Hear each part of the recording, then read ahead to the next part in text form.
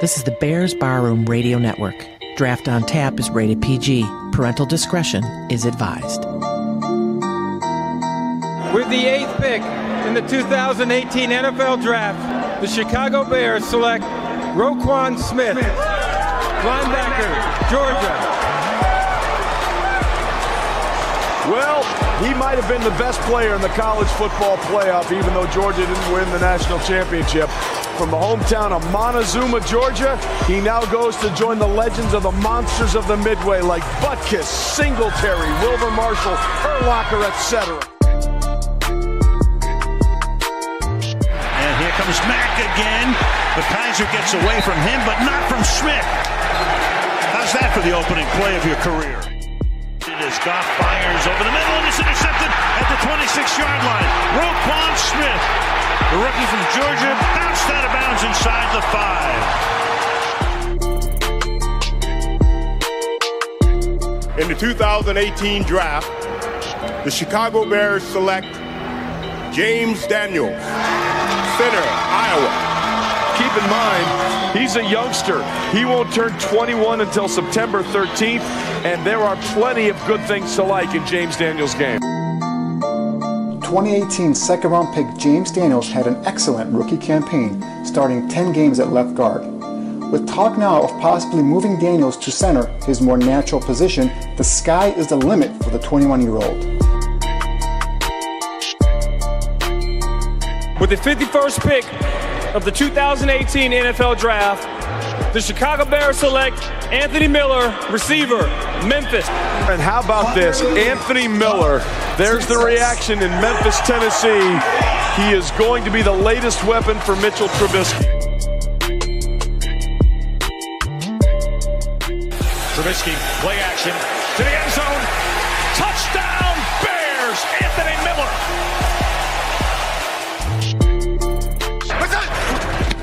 Second down, Trubisky well protected, wide open. Anthony Miller slips a tackle. Miller to the end zone. Touchdown, Bears. Drink up our flies. We have another edition of Draft on Tap. And with us today are two great interviews. Colin Thompson, the former tight end of the Chicago Bears who went to Temple and is going to share with us his thoughts on the players coming out of Temple, and Emory Hunt, longtime friend of the bar room and the czar of the playbook. He is going to be with us just momentarily, but first let me introduce the guys Shayne, the smartest man in the bar room, Marsaw, and Danny Shimon, who we are still looking for a nickname to. But tell you what, guys, let's go straight to Emory. He is waiting in the wings. Let's get to it. Emory Hunt, how are you doing, brother? I'm doing fine, man. I appreciate you guys having me on. Great. You are on the line with me, Aldo Gandia, Danny Shimon. Danny, say hi. Hey, Emory, how you doing, man? Cool, man. How's it going? And Shayne, the smartest man in the bar room, although he might be the second smartest now that you're in in the bar room. I, absolutely. I will bow down to Emory. This guy knows what he's talking about.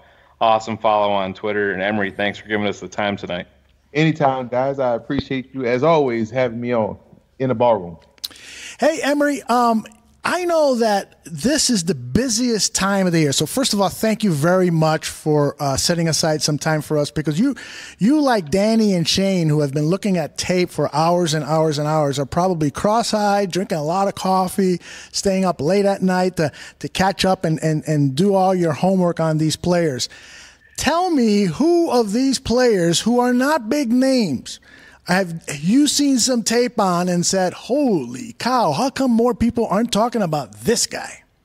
Well, one guy in particular that I'm I'm a big fan of uh, is, and it's funny because you you see a lot of people talk about everybody else at his position, but it's Darrell Henderson out of Memphis, you know, and he has that same element of of explosiveness and game breaking ability as does Tarik Cohen, and I'm just shocked that everyone is is has fallen in love with Josh Jacobs and, and can't explain why. They've come out with new formulas to justify their uh, analysis of him being number one at, at that position because he, the tape doesn't show it. But every time you look at Daryl, uh, Darrell Henderson, it's you know he's always ripping off long runs. He's averaging almost nine yards a carry, 22 touchdowns. He did the same thing last year, almost nine yards a carry. Uh, and it's ridiculous that he is not looked at in the eyes of many as RB one in this class. I think it's beyond comical he's going to be a steal for whatever team gets him at whatever round because clearly he's not going to go you know top 20 if he goes in the first round at all. So he's probably going to be one of the steals of this draft would you not say? I believe so. I mean you know if, if i had to choose to you know pick a, a surprise first round pick you know like last year Rashaad Penny was that guy. Um, he was my surprise pick last year and he ended up going in round one. I would say a team let's say if a team needs a running back I think he would be the first one to go, uh, more so than everyone's favorite, you know, tailback and, and Josh Jacobs. Danny, I know you've got uh, Henderson high on your uh, draft board. Uh, share with Emory what your, some of your thoughts on Henderson are. Yeah, I was going to say, Emory, you came to the right bar room, man, because both Shayne and myself have been high on, on Henderson as well, the kid out of Memphis. So uh, you're right. Uh, in Josh Jacobs, love a fest. Uh, I, I, see the traits, I see the skill set, but I, I got to see more than just you know 600 some carries or 600 some yards in, in one season. But uh, but just to go off on on, um, on Henderson again, the one thing about him that I do like, and I think he brings to any offense, is that big play, home run hitting ability. And I, I, think that's something that a lot of teams are looking for. So, so you do you think because in a lot of the scuttlebutt now is you know he might go fourth round, maybe third round. Do you think there's a chance you think he might go late first or early second? I think so, man. I, I think once you just if you just took away the name on a jersey and the, the logo on the helmet and, and just watched him run, it's like my goodness, he's seeing things and able to get there in an explosive manner and is able to turn gaping holes, which has been a criticism. Oh, he's running through gaping holes. Okay, fine. But at least he's converting those gaping holes into touchdowns. Where his backup who only has eight less carries than Henderson, averaged five and a half yards a carry and over just over 1,100 yards. So if there's a difference between what Henderson does with the ball and what Pollard does with the ball. And it's evident seeing that both guys have the same amount of carries in the same offense. Danny touched on it. I'm a, we're huge Henderson fans here, but a, a, guy that I've had my eye on, Emory, I'm not sure exactly how you feel about him, is Alexander Mattison. Can you talk about him a little bit? Mattison reminds me a lot of, of another back um, that came out of Boise and Jay Ajayi. You know, guys, I think those guys tend to seek out contact more so than you're supposed to. I'm not as high on him um, because of that reason.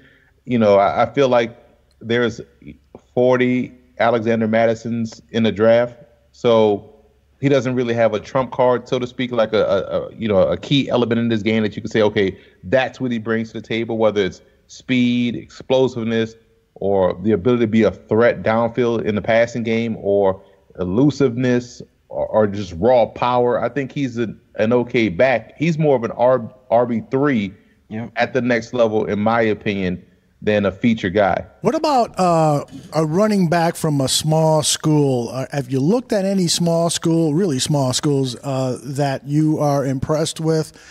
Um, I'll tell you one thing: this kid from uh, Appalachian State who broke his ankle uh, in the middle of the season and had that outstanding game against Penn State, and, and um, now I'm drawing a blank. Oh, Jalin Moore. Um, I, I'm really impressed with the way he runs. Have you seen tape of Jalin Moore? And, and tell me what you think of him. Yeah, he's my uh, 11th back in this class, and partly because of the injury. You know, you don't know how healthy he's going to be, and and if he's going to be able to, you know, be at full strength come training camp. So his injury, recent injury, just kind of knocked him down a little bit because the way they described it when it happened sounded like it was a career ender. So we'll see about him, but it sounds like he's back running and doing everything that he needs to do to be on the field. Uh, but he graded out really well for me. Again, he's my 11th back. If you want a small school tailback that uh, you should get familiar with, you should keep your eyes on Xavier Turner out of Tarleton State. Uh, 5'10, about 233. Uh, power, you know, compactly built runner, but got power, burst, explosiveness, and is a downfield threat in the passing game. So when I saw him at the College Gridiron Showcase, was very impressed there. And when I got to the film in February, it's like, wow, this guy really you know, can pick him up and put him down. He's a Uh, he was tremendous in the Lone Star Conference, which is a, a top conference in Division Two. Ran for over 2,000 yards in in a competitive backfield. He missed a couple of games in the season. Missed one game because of an injury. The the backup ran for over 170 something yards, and so he had to wait his turn to get back onto the field to get that start roll back, and still was able to go over almost 2,000 yards, if not cross that just barely. So tremendous runner. Uh, I know he had a, a private, uh, you know, top 30 visit with the Cardinals. Um, I know he has a lot of interest with the Cowboys, so he's a guy that's that no one is talking about um, from a small Division two program, but a good one, um, and he's a really good tailback. Danny, who do uh, what running back would you like to compare notes with uh, Emory? Well, one one kid, Emory, that I've been trying to get my hands on some tape, and that's one thing I'm going to do in the next couple of weeks is is Darwin Thompson, the kid from Utah State. Um, from what I've seen, just highlights. I mean, the kid's got electric electric feet, uh, ability to jump in and out of holes. He's, he's a bit on, on the small side. So I wonder if you've had any uh, extensive scouting of, of Darwin Thompson. Yeah, I have. And uh, for him, it's, you know, you would think a guy that is 5'8, 200 pounds would have that that elusiveness, but that's why you can't judge a book by its cover. I think for him, he's more along the lines of, of what they used to call the scat backs. You know, you want to get those guys out on the perimeter and allow him to use his explosive speed. I still I felt as though he should have stayed another year at Utah State because I think they have a chance to be special uh, this year with their quarterback, who no one is talking about, in Jordan Love. That's probably going to be the top quarterback next year. Everyone's talking about Herbert and Tua, but Love is going to be bearing down their throats uh, their next next season. So I wish he would have stayed for another season. Um, so it'll be interesting to see where he ends. I think he's going to probably end up early in his career as a uh, kickoff returner and seeing spot duty as a as a third down back. But you know, he has he has he's more along the lines of of what you guys already have on the roster and to uh, Taquan Mizzell. So I, I, think that right there is a, is a, a comp for, Thompson. I wish he would have came back. Really only had that one year transfer from JUCO, uh, but you know I wish he would have stayed in at, at, Utah State for one more season. Emory, you mind uh, sharing with us who else you've got on that top ten list of RBs? Well, number one is, is Henderson. Uh, two is Josh Jacobs, but from Henderson to Jacobs is about a three point drop off. So it's Henderson Jacobs. Dexter Williams is my third. Uh, Mike Weber out of Ohio State is four. Bryce Love rounds out my top five. Uh, Devin Singletary is six. Damien Harris is seven. Ryquell Armstead is, is eight. Alex Barnes out of Kansas State is number nine. And Darrin Hall out of Pitt is 10. It seems like uh, Dexter Williams' stock has been going up since uh, the Senior Bowl, uh, where at that point I would have guessed he was a maybe a fifth or sixth rounder, but now I'm seeing a lot of reports that he's a third rounder. Um, and, and, possibly even higher, although I doubt he's going to be a second rounder. But I've, but uh, there's been a lot of talk. Have you been hearing stuff about Dexter Williams that uh, his stock has been going up? Haven't been hearing anything about stock per se. But when you watch him on film, you see something that the guy in Alabama at Alabama doesn't have is that explosive element to his game to rip off the long run. Um, he only graded out a half point behind Josh Jacobs in, in, my in my grading. So I'm I'm very excited about Dexter Williams. I think the reason why he's a slight he's slightly behind Jacobs, or you can kind of say they have similar grades, is because both guys were, you know, Jacobs was more of the um, you know, he was a third string guy. He was a comp guy that didn't really get the carries. Williams was there for a long time, but Williams just either was hurt, suspended, didn't really get the reps, and only really had that one year per se of success. So you and, and you know he had his ups and downs. So you want to see if this year was an aberration or was it a trend. I tend to you know side toward the positive side of things, and I think Williams definitely has you know the ability to start and, and be a thousand yard rusher because of what he can do once he gets to that second level. He has that second gear and able to maintain that throughout the play.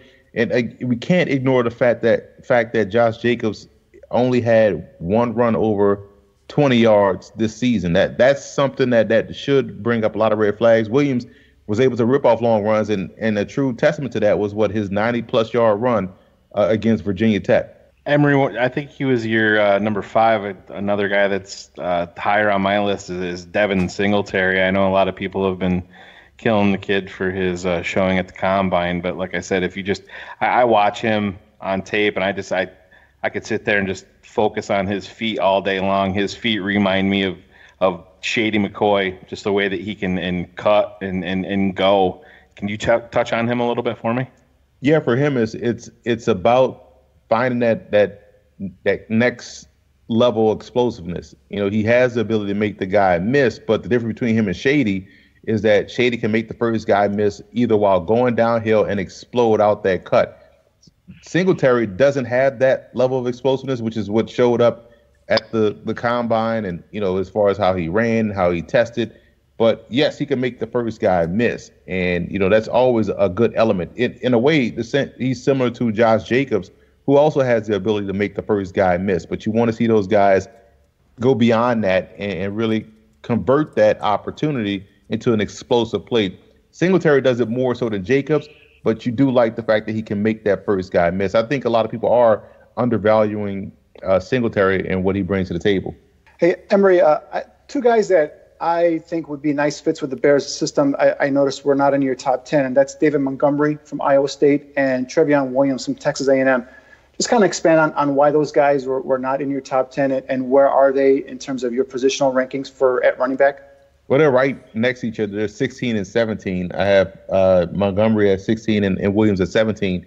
You know, Montgomery is, I think he's the Pierre Thomas of the, the college football landscape. You know, he's a good back, but you always kind of watch him and, and kind of find yourself saying, yeah, but, you know, we can use somebody that's more explosive. Yeah, we can use somebody that's bigger or, or faster or whatever. You, so he's the type of guy that is probably better as a complementary back. Um, you know, so he may fit well in the Bear system. But as far as a, a feature back, I, I, don't. He doesn't have that juice that you need. And Williams has a little bit of that that excitement to his game, but I think he's a little bit tight hip, um, which kind of limits his ability to be that consistently um, explosive player or a guy that you can really lean on and and trust. So I think for for him, you know, it's, it's funny to watch a guy in Williams that's about 5'9", 200 pounds but he has long legs and, and a short torso. So he's kind of he, he that kind of knocks his balance off a little bit, uh, which probably limits him from being an explosive guy because you know his body is, is shaped differently. So he has to go about his vic- he have to go he has to go about his his uh, his victories a different way. Um, but I think both guys are, are good productive runners. I just see them more as as RB twos as opposed to RB ones. Why isn't Sanders on your top ten? Sanders is just okay to me. You know, not like in a negative way. It's just, you know, you see a flash play here or there, but we've seen flash plays from Jordan Howard, you know, the former Chicago Bear. We've seen splash plays from other guys. I just don't. I think Sanders is probably a specialist third down back at the next level. Um, I know he had uh, he was behind Saquon Barkley, highly touted coming into Penn State. Um, but just couldn't. You obviously not going to crack the starting lineup ahead of a Saquon Barkley. But when you had the opportunity, I just felt as though there was a little bit, you know, there was there was it was good good production, but wasn't wow production. And I know you know, with the advent of social media and, and Twitter clips, uh, you can take somebody's best run and, and circulated 55 times and, and everybody thinks that's his whole scouting report. But when you watch him in totality, uh, even some of his best plays, you're like, wow, he should have scored on that one. And he ended up getting tackled for a 12 yard gain. I, you know, so I, I think, you know, he has value as a, as a, you know, second back or third back, uh, pass catching back uh, in, in a rotation uh, if you're going to go with a, a, you know, a backfield by committee. All right, let's uh, transfer over our, our talking here to the edge rushers. We're really interested in getting your input on those guys. While we agree that the uh, Chicago Bears are probably going to draft a, a, running back in the third or fourth round, I think the consensus here at the bar room is, is that perhaps it should be a fourth rounder, and that with the need at edge rushers and to have as many as possible on your on your roster, perhaps if there's a good one there in the third round, that's the guy to get. What do you think about this edge rusher class? And and tell us some of the guys that pop out. There's some some good guys that, that actually would be good situational rushers, which is probably what the Bears need. I love the fact that they brought back Aaron Lynch. I'm a big fan of what he brings to the table. Um, but if you're looking at round three, you're looking at maybe a guy like Darryl Johnson out of North Carolina A&T. who was the top pass rusher in the MEAC, came out early uh, from the FCS level, which is rare. And I like what he said too. He he he mentioned that you know I, I've developed as much as I can at the collegiate level, and I think I can further develop my game at the professional level. He thought about grad transferring, but was like, you know what, the the league had a really good grade on him. I know they they saw him as a day two talent.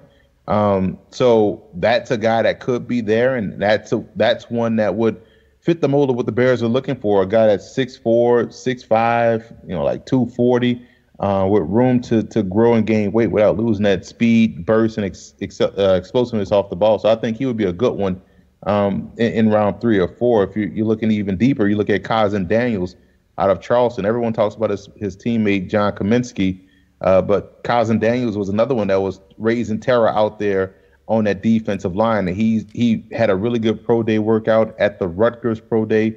Um, and when you watch his production and see him consistently over time throughout the course of a season play well, and then you realize that he had that he's blind in one eye, it makes what he did on the field even more impressive. So that's another player that's probably going to be there in rounds four and five that the Bears could take in and solve their uh, edge rushing uh, needs.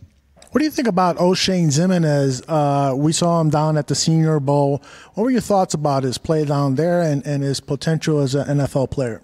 I thought he did well. I, I think for him, I was more worried, worried about him uh, not having the leverage that you want to see. And he plays a little bit too high, but you love the hustle. That's something that you can't teach a coach. And I thought when I went back and watched the film, he's probably more along the lines of a stand-up guy that can play the run, kind of like Lorenzo Carter was last year for the Giants, and, and coming out of Georgia, a guy that's a solid run defender that yeah can rush the passer, but I think you know he still has room to grow in that area. So it's for him. It's going to be about leverage and consistency at, at the NFL level, but he definitely has uh, the, want to and hustle that that you can't coach that'll help him get up to speed pretty quickly. Emory, one of the really the enigmas in this edge class that's been talked about this offseason is it uh, Jachai Polite, they're from Florida. Uh, obviously, the interviews didn't go exactly how he had planned. Um, what have you heard about him moving forward? Kind of where do you expect him to fall in this entire process? And are you a fan of his game overall? I'm a fan of his game, man. I I kind of liken his game and situation to uh, Bruce Irvin when he was coming out of West Virginia. A lot of people talked about Irvin in the same way, and and people were shocked that he went in the first round after they said, "Oh, he's going to fall because of X, Y, and Z." And I still don't see Polite falling out of round one. Um, when you when you heard him talk about his his process uh, during this whole NFL draft process, I love how honest he was, and and I think a lot of it stems back to what happened at the combine. You know, listen to media trying to tell him, you know, ask him about why he's not running or he has to compete when he knew he was hurting and now he wants to show, oh, I can compete, I can work hard and I can, you know, fight through injury. And he ended up running a slow time, still nursing the same injury at his pro day and ran a slower time. But you like that he went out there, but to to what avail? How does that help him in a court of public opinion? But when you watch him on film, none of that showed up on tape. He was explosive, he was quick, and he he's a little raw as far as technique, but that's something that you can coach up. But you can't coach, like I said before, the the heart, the want to. He has a knack of of turn the corner and find his way to the quarterback. And I feel like a team like Dallas or uh, Seattle in the in round one, Dallas maybe in round two because they don't have first round pick would be an ideal spot for him because you can trust those defensive staffs to really coach up players and coach up techniques. I don't think he falls far. If he falls out of the first round, I think he doesn't get past round two. Emory, uh, I'm glad you brought up Kahzin Daniels. He's, a guy that that uh, I heard about in terms of you know the Charleston kids, and everybody's talking about Cominsky. but you know I was like, you could look at this Daniels kid, and I, I did some research on him, and like you mentioned, the the, uh, the the fact that he was blind in one when his right eye didn't tell anybody. His coaching staff, his coaches didn't even know until some of the scouts brought it up to them. Um, he had 30, I think it was 34 and a half sacks uh, for his career at Charleston. Do you think because of the um, the injury the, or the issue with the eye, you think he goes undrafted, or is there a chance he gets picked up later in, the, in you know like day three? we saw Shaquem Griffin get drafted. He got one arm. So I think when you look at guys and Daniels, it doesn't matter if you can if you can get to that that quarterback, they'll put you on the team. And I think Daniels is definitely worthy of a draft pick. Emory, let's move on to another position. Uh, your thoughts at the cornerback level, and again, we're kind of interested on mid-round uh, to late-round draft picks. We saw a couple at uh, the Senior Bowl who caught my attention.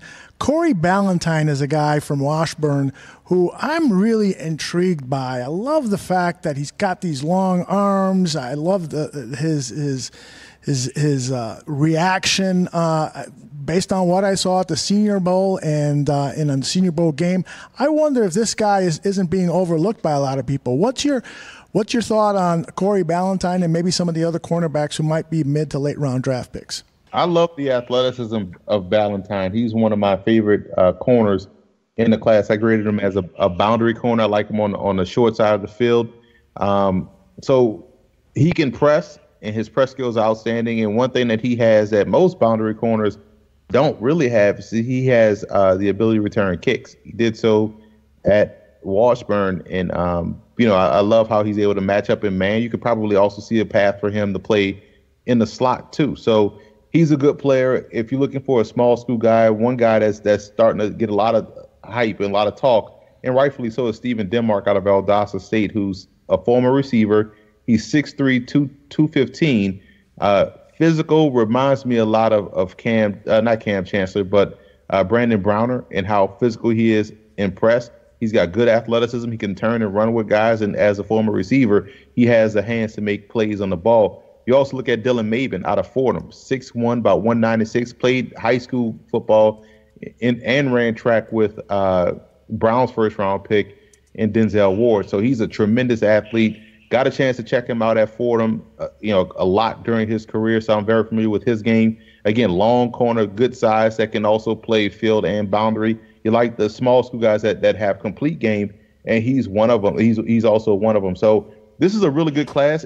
I think the Bears are, are solid in the secondary because I love guys that they took last year that are now in positions to play significant roles, like Michael Joseph out of uh, Dubuque, uh, Kevin Toliver out of LSU. Um, so we'll see how you know where they go. But these, if you're looking at small school guys that could be there later on in the draft for them, those two guys that, that really come to mind uh, immediately. And if you're looking at a slot guy, uh, I, I would say keep an eye on Kewan Selby out of Delaware State.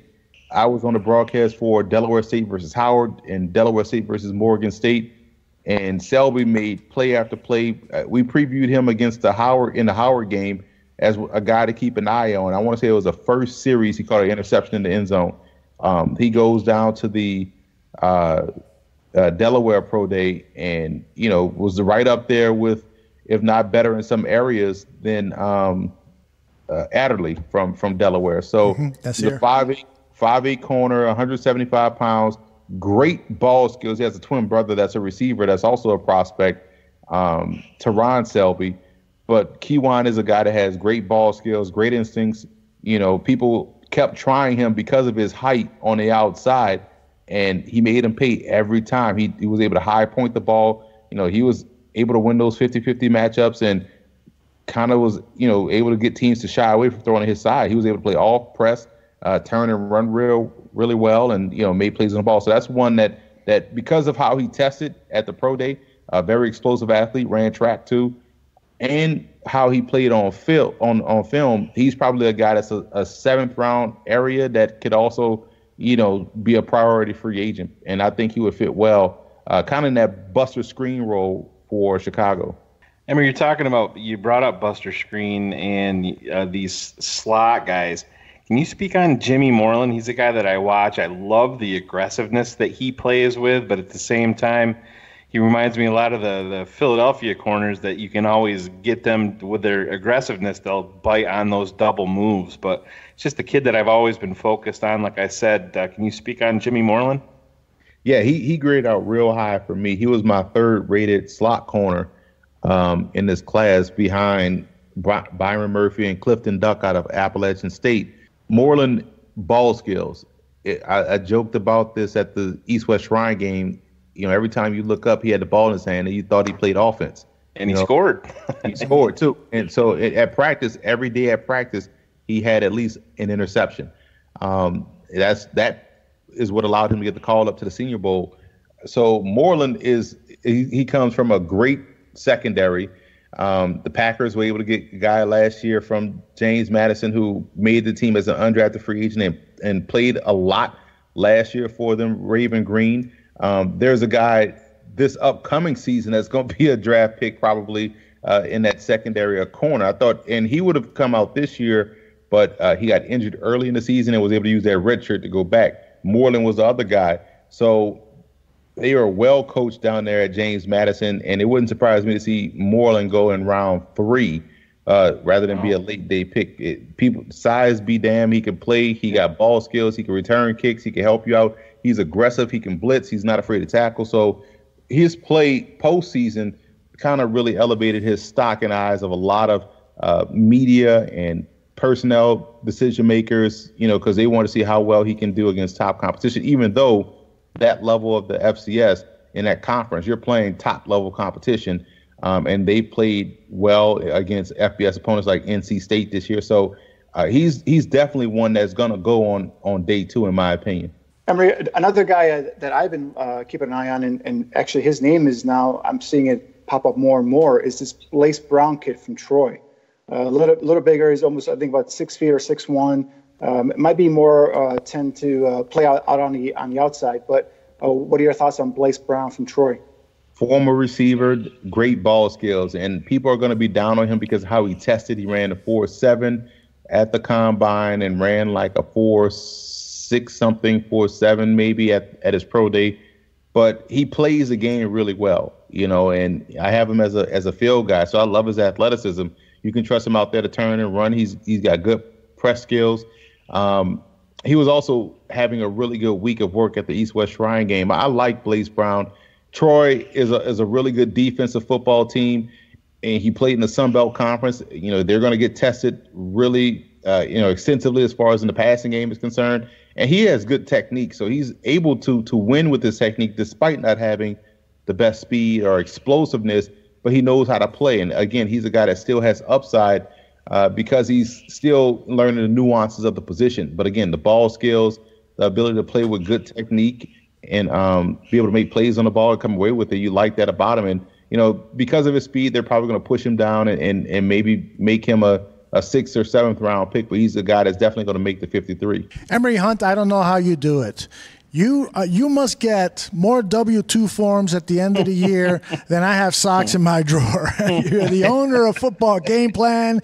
You're a writer, a speaker, an author, an expert over at Sportsline.com. Uh, you write also for the Athletic uh, Fantasy. Uh, that's the Athletic FS. Uh, if you want to find them on Twitter, your Twitter handle is F Game. Excuse me, F Ball Game Plan. You're the owner of the site, as I said earlier, FootballGamePlan.com. If you're not subscribed to Football Game Plan on YouTube, then what is wrong with you? You're missing out on lots of good stuff. Emory, have I done a good job of plugging everything that you're into? yeah, you have, man. And we have some exciting news coming down the pike. Uh, we're excited about that in May. We'll announce that once the time comes, but we're working on something big. Uh, also, one thing that we are excited about is footballgameplan400.com. We are now diving into high school scouting. Oh, nice. Um, I don't know if I told you guys before, uh, but we we did a pilot in 2000, uh, 2014. Uh, we had a show called uh, on Blog Talk Radio. We, we did a show called uh, the uh, High School Recruiting Roundup, where we had high school players call into the show, send us their Hudl link, and we gave them an evaluation live on air. Nice. And one guy we talked to, um, it was one of the three guys that, that gave us the idea to, to run with the 400. Um, one guy we talked to was like, man, you got great technique. Uh, you know, if somebody just was patient with you and let you gain weight, because he was a small, he was about 230, um, playing playing tackle, and we was and playing guard, and she was like, you know, you you got the technique, and once they add the weight, because college will add the weight, you're going to be a monster because you got good technique, and now you have the weight to go along with it because he was feeling kind of, he was like, you know, I, I don't, you know, I don't know. I had some questions. People always question my size, blah, blah, blah. And fast forward to this year, that dude is Chris Lindstrom. and so so we saw who was down at the Nice. uh, we was down at the Senior, Senior Bowl, Bowl, and right, he we I interviewed him. He was like, "Man, I appreciate what you said. You know, way back then, like you know, you guys are were pretty honest and it was pretty on point." Um, one guy, another guy we talked about and had on the show, uh, he said people was questioning his size and whether or not he had to move to safety or could he play linebacker at the collegiate level. And we was like, "Now you fit the mold actually of the new age linebacker." And fast forward to last year, that was that guy was Jerome Baker. You know, so so we, we we thought like, man, we're hitting on a lot of guys, man, and and so we started we started scouting guys back in July, and we were able to unveil our initial list, which is the football game plan 400, um, which is on uh, online right now. So just go to footballgameplan400.com. It's going to be fun to track these guys uh, throughout the course of their collegiate career. And so now when we do our draft stuff, we can always say, hey, so and so was a football game plan 400 uh, player. He was the the fourth overall quarterback, and now he's this in our football game plan scouting uh, draft grade. So we're excited about that. Our next list, uh, next crop of 400 will come out in August. So you know, it's a, it's another piece of the puzzle that we're they're adding to the foot we're adding to the football game plan family, and, and we're definitely excited about that. You could also follow on Twitter at FBGP400 to check out our list and you know, all the upcoming videos and uh, interviews that we have down the pike as well. So we're we're covering all bases here. Emory, before we let you go, one thing you kind of piqued my interest a little bit earlier when you were t- just talking about the Bears depth chart at running back. Are you high on uh, Taquan Mizzell? I'm more high on Ryan Nall than I am on um, Mizzell, and so the fact that Thank you. I was glad to hear you say that. you know, Nall, Nall was a guy we talked about on this show, man, Yeah. and I'm glad he made the team. A really good back. I'm glad they brought in Mike Davis, and the fact that you know they decided that hey, we don't no longer need the services of Jordan Howard. You already know my stance on Tarik Yep. Cohen, what I thought about that.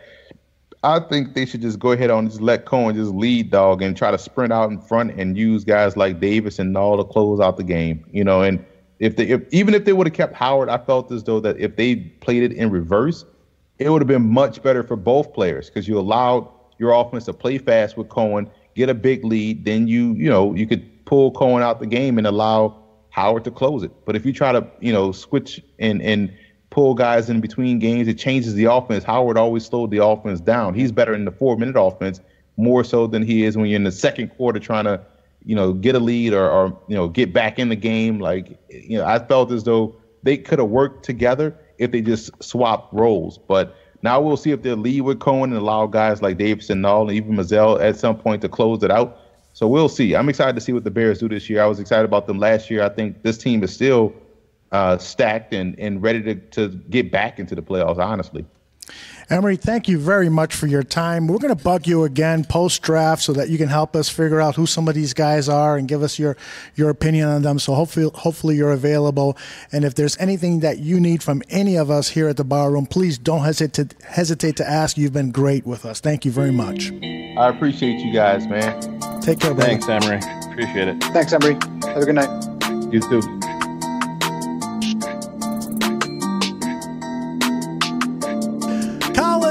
Thompson, are you there?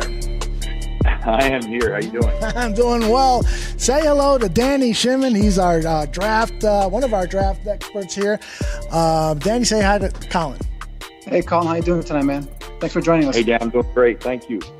And also with us is Shane, the smartest man in the bar room, Marsaw. Shane, say hi.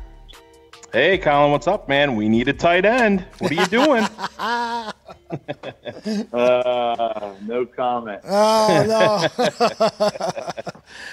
well, I was going to start this interview by asking just where things are with your uh, professional playing career. Anything uh, you want to share with us? Yeah, so just finished up with the uh, the AAF, and you know, uh, it's been storied, it's been documented. Everyone's seen the ups and downs of that football league, and I'll speak for what we did in Birmingham. I thought it was pretty special. Uh, I thought that was the norm across the league. Well, I come to find out later what we did there operationally, um, starting with our head coach and our general manager and, and the staff behind the scenes there. Everything was smooth sailing, I thought, for the most part. We had all the big things covered. Starting with you know travel and food and a field and a facility. Uh, I come to find out later that um, other teams aren't even paying for people's hotel rooms.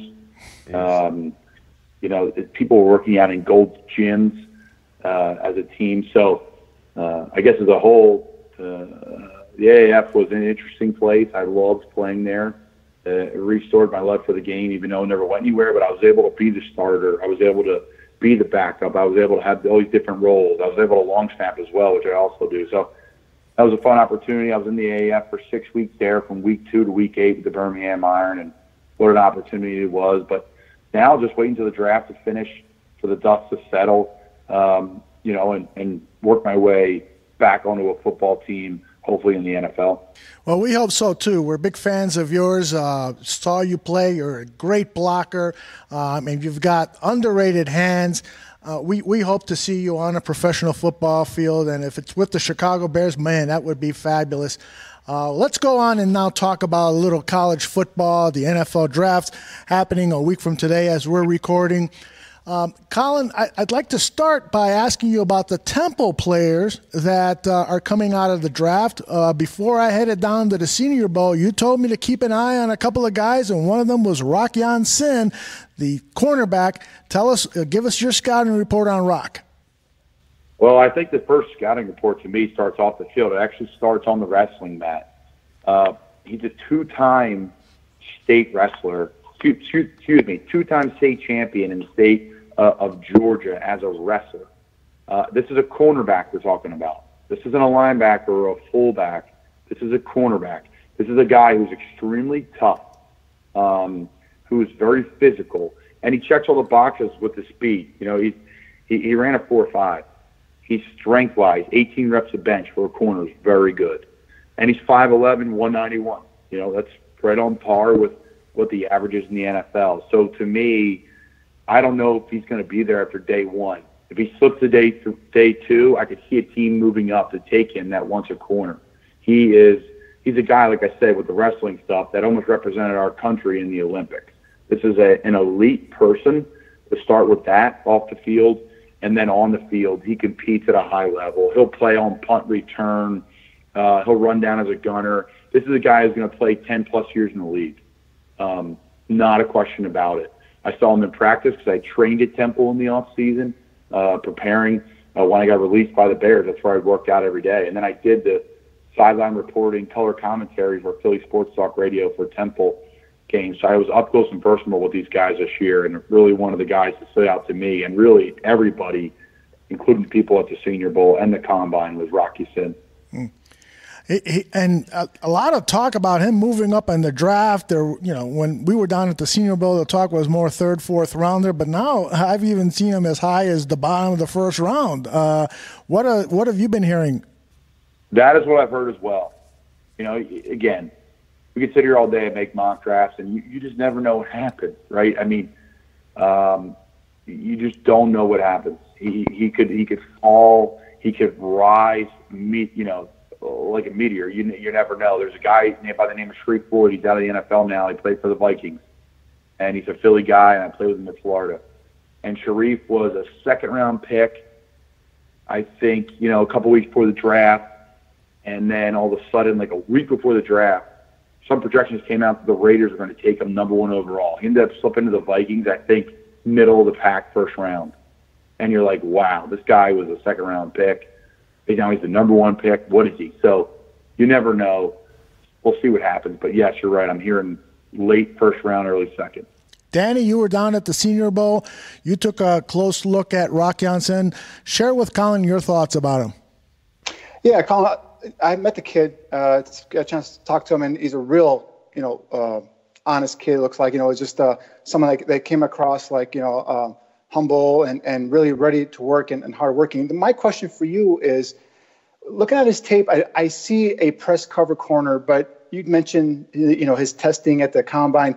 I think some teams are seeing him now as, as an off coverage corner. Where do you think he best uh, sits? Is he is he better in, in, in, press man cover or is, is he an off corner or, or could he do? Is he scheme versatile? Can he do both? I think he's scheme versatile, and and I'm I'm I, I'm not biased because I I try to look at I try not to be biased, but at Temple they ran multiple defenses. Geoff Collins, he ran multiple defenses when he was at Mississippi State, and they had a great defense there. And back in the Dak Prescott era, he ran a great defense at Florida um, with the Jim McElwain era there, and then he becomes the head coach at Temple. And I've seen Rock do it all, drop into coverage uh, into deep third there in cover three. I've seen him drop into deep four in cover four, and I've seen him as cover two come up and make big tackles on like maybe say a bubble bubble little flare screen. You know, they're trying to take advantage of the smaller corner. He's not somebody you could take advantage of. And then I think physically, he's going to be able to match up with a lot of receivers in the NFL because of his, you know, like I said, his physicality, the wrestling background. This is not a former basketball player. This is a former wrestler. So I think he can do both. I think he is versatile and, you know, you never know what happens until you get on the NFL field and you're facing Julio Jones, you're facing the top wide receiver in the NFL, Allen Allen Robinson, these guys that are masters of their craft. So it should be interesting to see, but I think he can do both. Colin mentions his his wrestling background, but and you can see that in the way he comes up and he, and he attacks uh, in terms of run defense. He attacks the the running back and he wraps up. He's he's a sure tackler in the open field. That's one thing a lot of these teams are, are looking for now, especially if you're playing cover. You know, uh, if you're playing, asking your guys to play coverage to come up and run defense and wrap up and tackle, and Rock Ya-Sin will do that. Yep, no, no question, 100%. And I, I think that I think if you're sitting in a room and your defensive coordinator sitting across the table, you're like, listen, I like this guy. Why not take him? Like he's a sure thing to me. I mean, in a world of, you know, as we know, not so such sure sure thing. Uh, I think with his work ethic and his personality, a guy that played at, you know, Presbyterian College to come to Temple and in one year become a first round pick, pretty impressive. Colin, I'm really interested in getting your opinion on running back from Temple, Rockwell Thompson, uh, excuse me, Ryquell Armstead. This guy, uh, I was super impressed with his play down at the Senior Bowl. Um, just yesterday, he was on Good Morning Football, and he was asked to look at the camera and tell a GM what he, what that team would get if uh, if they drafted him. And the first thing he said, he, he said, is someone that will respect the program. Secondly, someone who will dominate at special teams. Third, a violent runner. Fourth, a guy that can run and catch. I mean, you couldn't have scripted that better for a young man to say that and say it with conviction, straight to the camera, talking to all 32 general managers. Have you met this guy? Tell me what he's like and, and give us your assessment of him as a football player. Well, I'm, I'm flooded with emotion a little bit because this is a guy that he was my favorite player. One of my, I mean, I played with such, so many great players at Temple uh, and if you guys seen around the league, Temple football has, has put itself on the map. And in the last four years, five years, Temple football has been a substantial part. You can't write the story of college football season without it. And this is a player that came in and played right away as a freshman. Um, first off, you're going to get a great father. I think he makes that apparent at Temple. And Matt Rhule and Geoff Collins embraced that, and his kid was his child was always around. And he's a great father. Secondly, He's smart. He knows how to how to act, what to say at the right times. He gets it. He's a guy who gets it, right? A lot of people look at the TV or look at football and see the celebrations or see this and see that and say, "Do these guys not get it?" And I find myself saying the same thing sometimes too. But here's a guy who gets it. And Rocco Armstead, he is first off a great person, great father. I said that. He checked all the boxes at the Senior Bowl. He checked all the boxes at the combine. And a guy, like I said, I blocked for for two seasons. And I think too, right, you see him these power runs at Temple. And I'm sorry, I'm going to elaborate on this a little bit because I know this is a guy that everyone's going to be interested in. He is your mid-round pick running back that everyone wants to turn into their superstar, right? Alvin Kamara, the list goes on and on. Uh, Jordan Howard, right? Your, your Pro Bowl back that you find mid-round. But this is a guy that got blocked for two seasons. Um, he's going to be a in my opinion, a great NFL running back. He's a physical runner. Um, I see him like a Tevin Coleman type, where he can affect the screen game as well, but also gash you up the middle. But he's 15 pounds heavier than than uh, Tevin Coleman as well. So very crafty in the hole. Uh, I think he creates his own, um, and he's had some great coaching. He coached Louisiana and coached Lucas in college. But what's pressed me the most, though, I'll be honest with you, is his breakaway speed. you think he's a physical runner, and most physical runners don't have that fourth, fifth gear. Watch the USF game, Temple 2016. Turn that game on YouTube. Uh, I think the full game's on there. He is unbelievable. Uh, we run a lot of jumbo sets. I play a lot of wing that game. He is breaking tackles. He is running, and he's pulling away from these guys at USF at the back end, which we know is a pretty fast back end. So he's been a part of multiple offenses, multiple coaching staffs. And I think in the screen game with Coach Nagy and Coach Helfrich, and like you said on Twitter, is he going to be able to run those routes out of the backfield? I think he does. I think he checks all the boxes. And another thing too is pass protection wise, he is not a liability. He will butt up a linebacker, um, and he's got great technique with it. So he is your perfect mid-round running back that I'm sure Bears fans would love to have.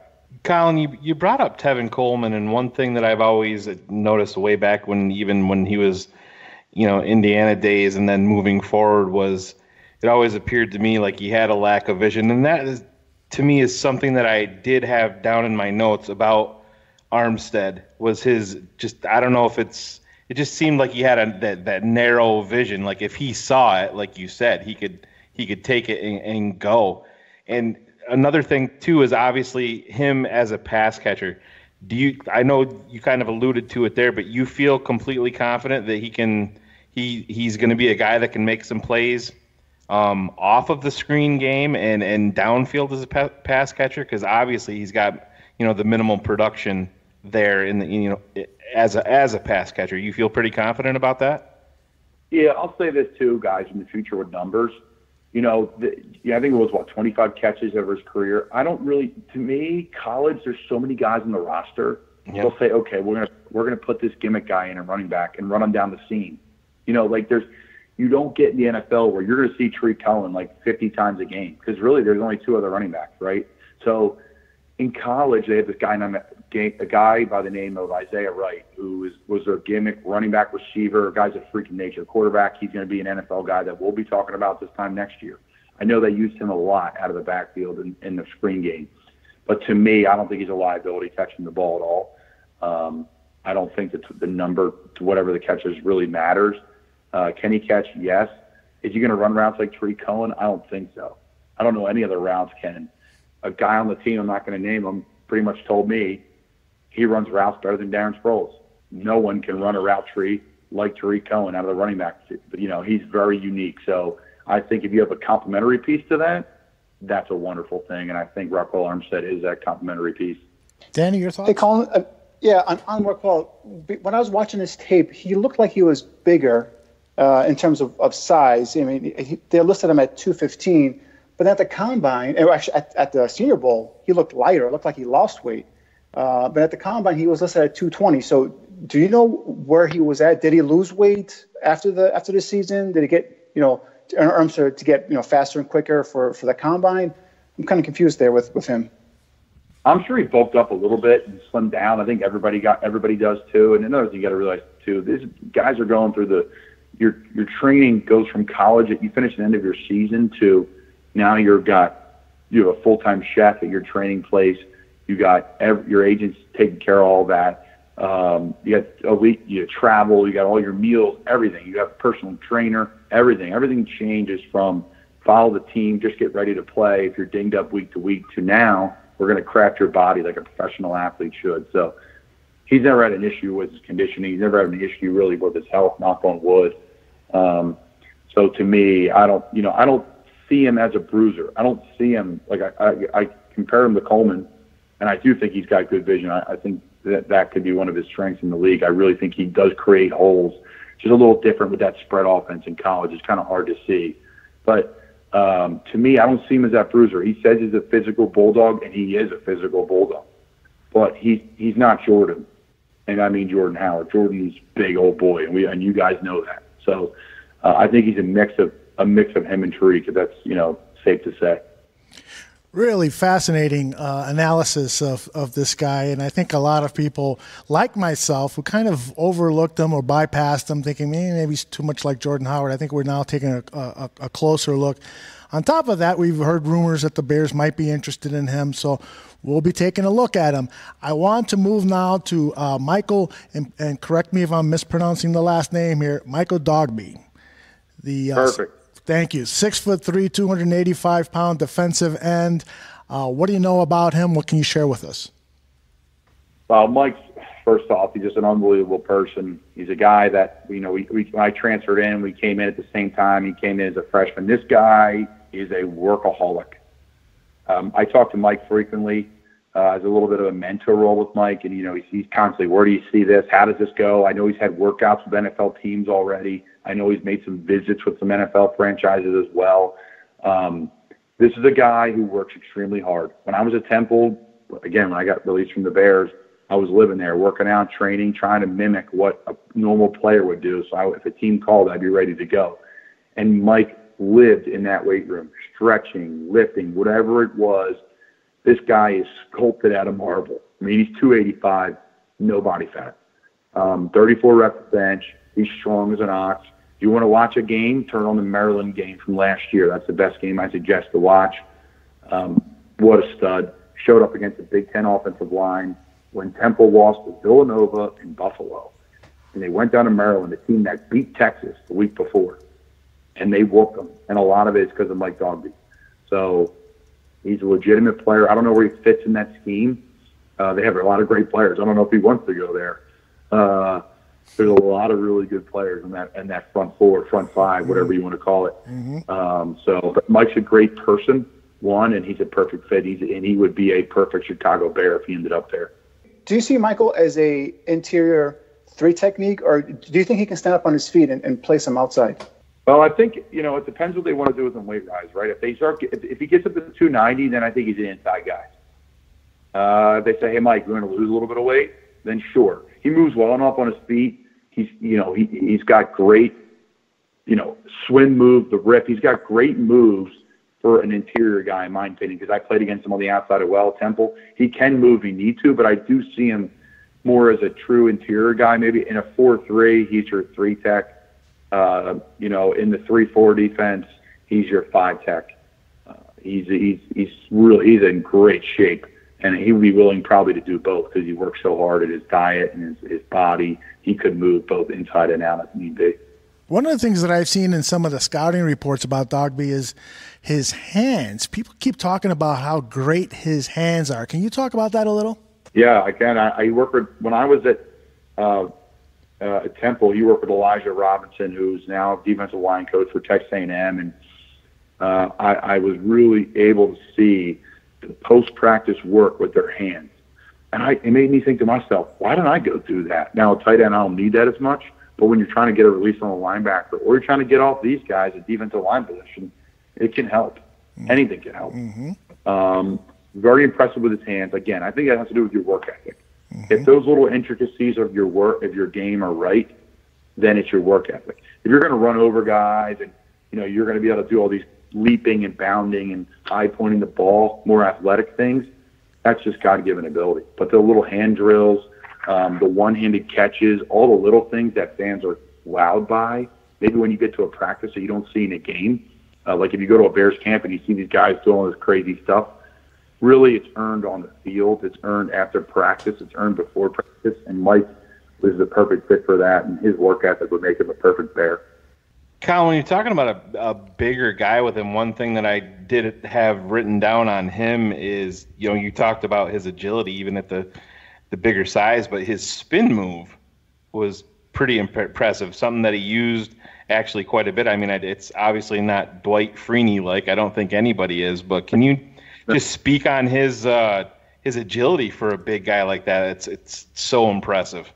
Yeah, Mike has always been mobile. I think he's like a he's like a little guy in a in a big man's body. He you know he, he he's just made out of marble, like he's made out of granite. This guy is a freak.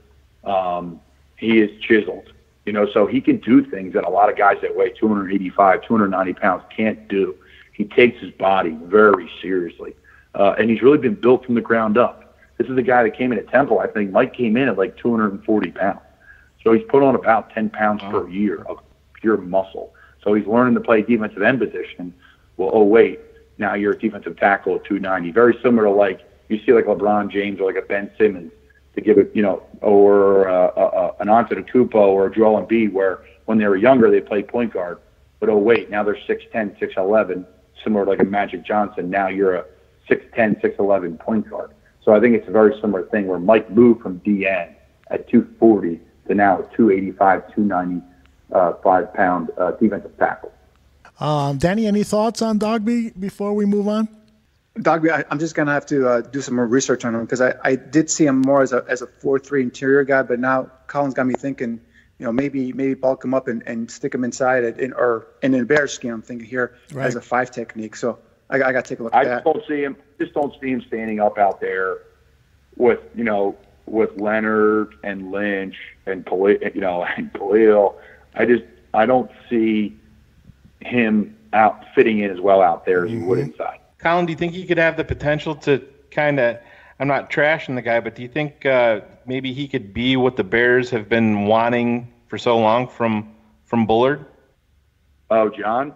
Yeah. Yeah. I mean, uh, did, I'm I'm I'm not. I haven't followed as well as John. Did John resign out there? Is he still there? He's still there. Yep. Yeah, I think I. You know, I, I played with. I played at Florida with John. Um, there's so much depth on that team, and I think John's a part of that depth. I think John's a part of that pass rush. I know it's it's tough to see at the interior defensive line position, the you know the quality of player. I think because a bull rush just looks like a like a block for the offensive line, but that wears on guys, and I think John presents that. John's strong as an ox. Um, numbers wise, it's really hard to produce the inside unless you're Akiem Hicks. you know, he's a freak. yeah. He's unbelievable. you know, he's so good. To me, he's the most underrated player in the NFL. Um, so no, I think John, John, you know, he's all the ability to make plays and and and do things interior. He's got all the talent for sure. And I know he was a higher pick, so people people want to match that pick with the output but I think John will have a great year. There's a ton of depth in that defense. I don't see why not. Let's talk about Delvon Randall. Uh, I think he's the last of the Temple players that's coming out for the draft. The safety uh, flying under the radar a bit. Some scouts yep. are are not uh, uh have been punching him a little bit for his 4.71 40 run at the pro day. Uh, but nonetheless, this guy is is always seems to be around the ball. He's got 12 career interceptions as a three-year starter. What can you tell us about Delvon Randall? Well, this is a guy, another guy who dominated our sport. He had Division One offers to play point guard uh, mm. all over the state of Pennsylvania um, and to play basketball. So he, he's an athlete starting there. Fifth all time in Temple history in interceptions. He had four interceptions his sophomore, junior, and senior year. As a junior, he had 80 tackles. As a senior, 85 tackles. So this is a guy that's averaging more, um, you know, more tackles than linebackers, the safety position. And I'm not saying okay that they break free for 10 yards. He just happens to grab their ankle.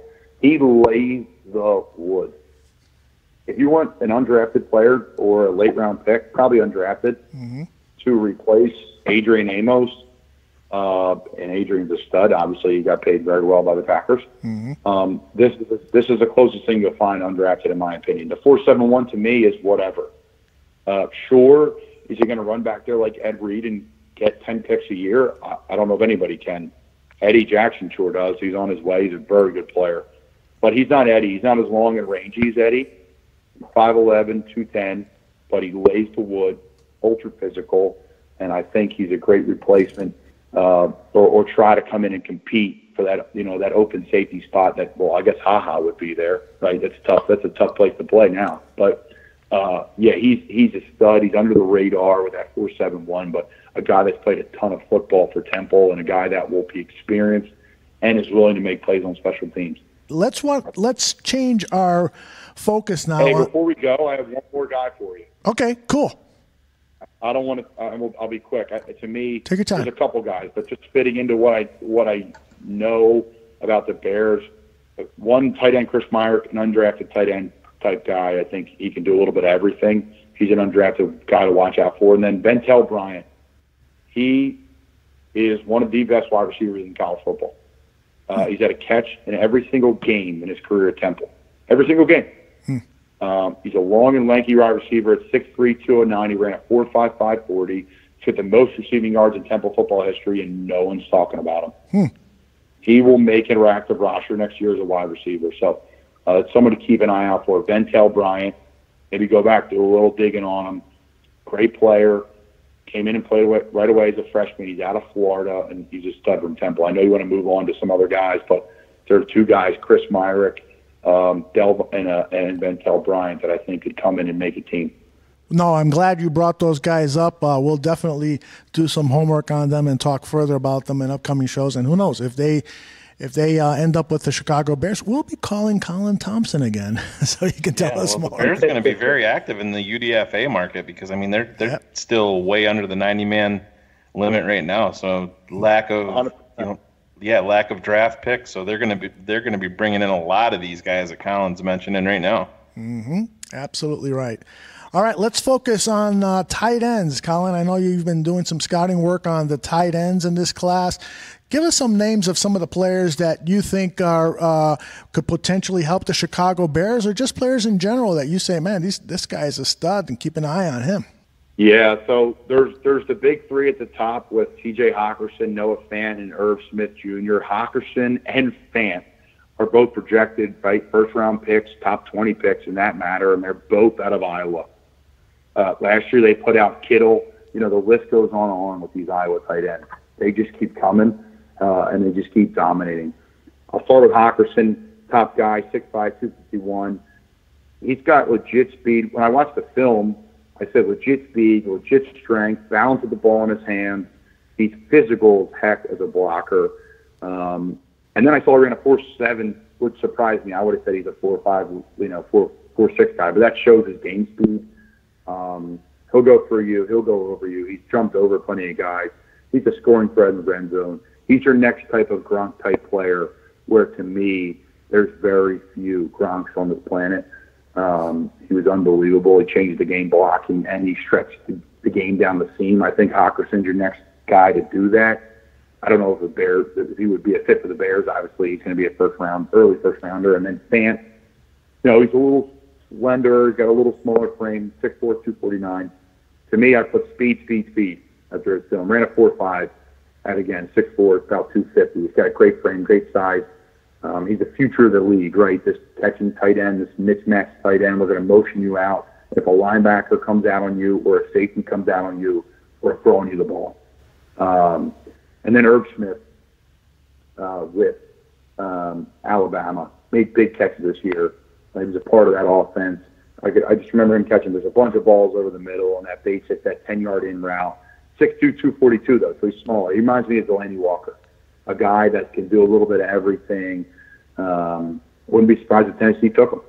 I know Delanie got hurt last year and missed the end of the year, but he's a stud Pro Bowl type player. And then I'll give you one guy that I think could could potentially be with the Bears, and that's uh, uh, uh, Trevon Wesco um, or Trevin Wesco with out of West Virginia, mm-hmm. six four two seventy, mid to late round guy.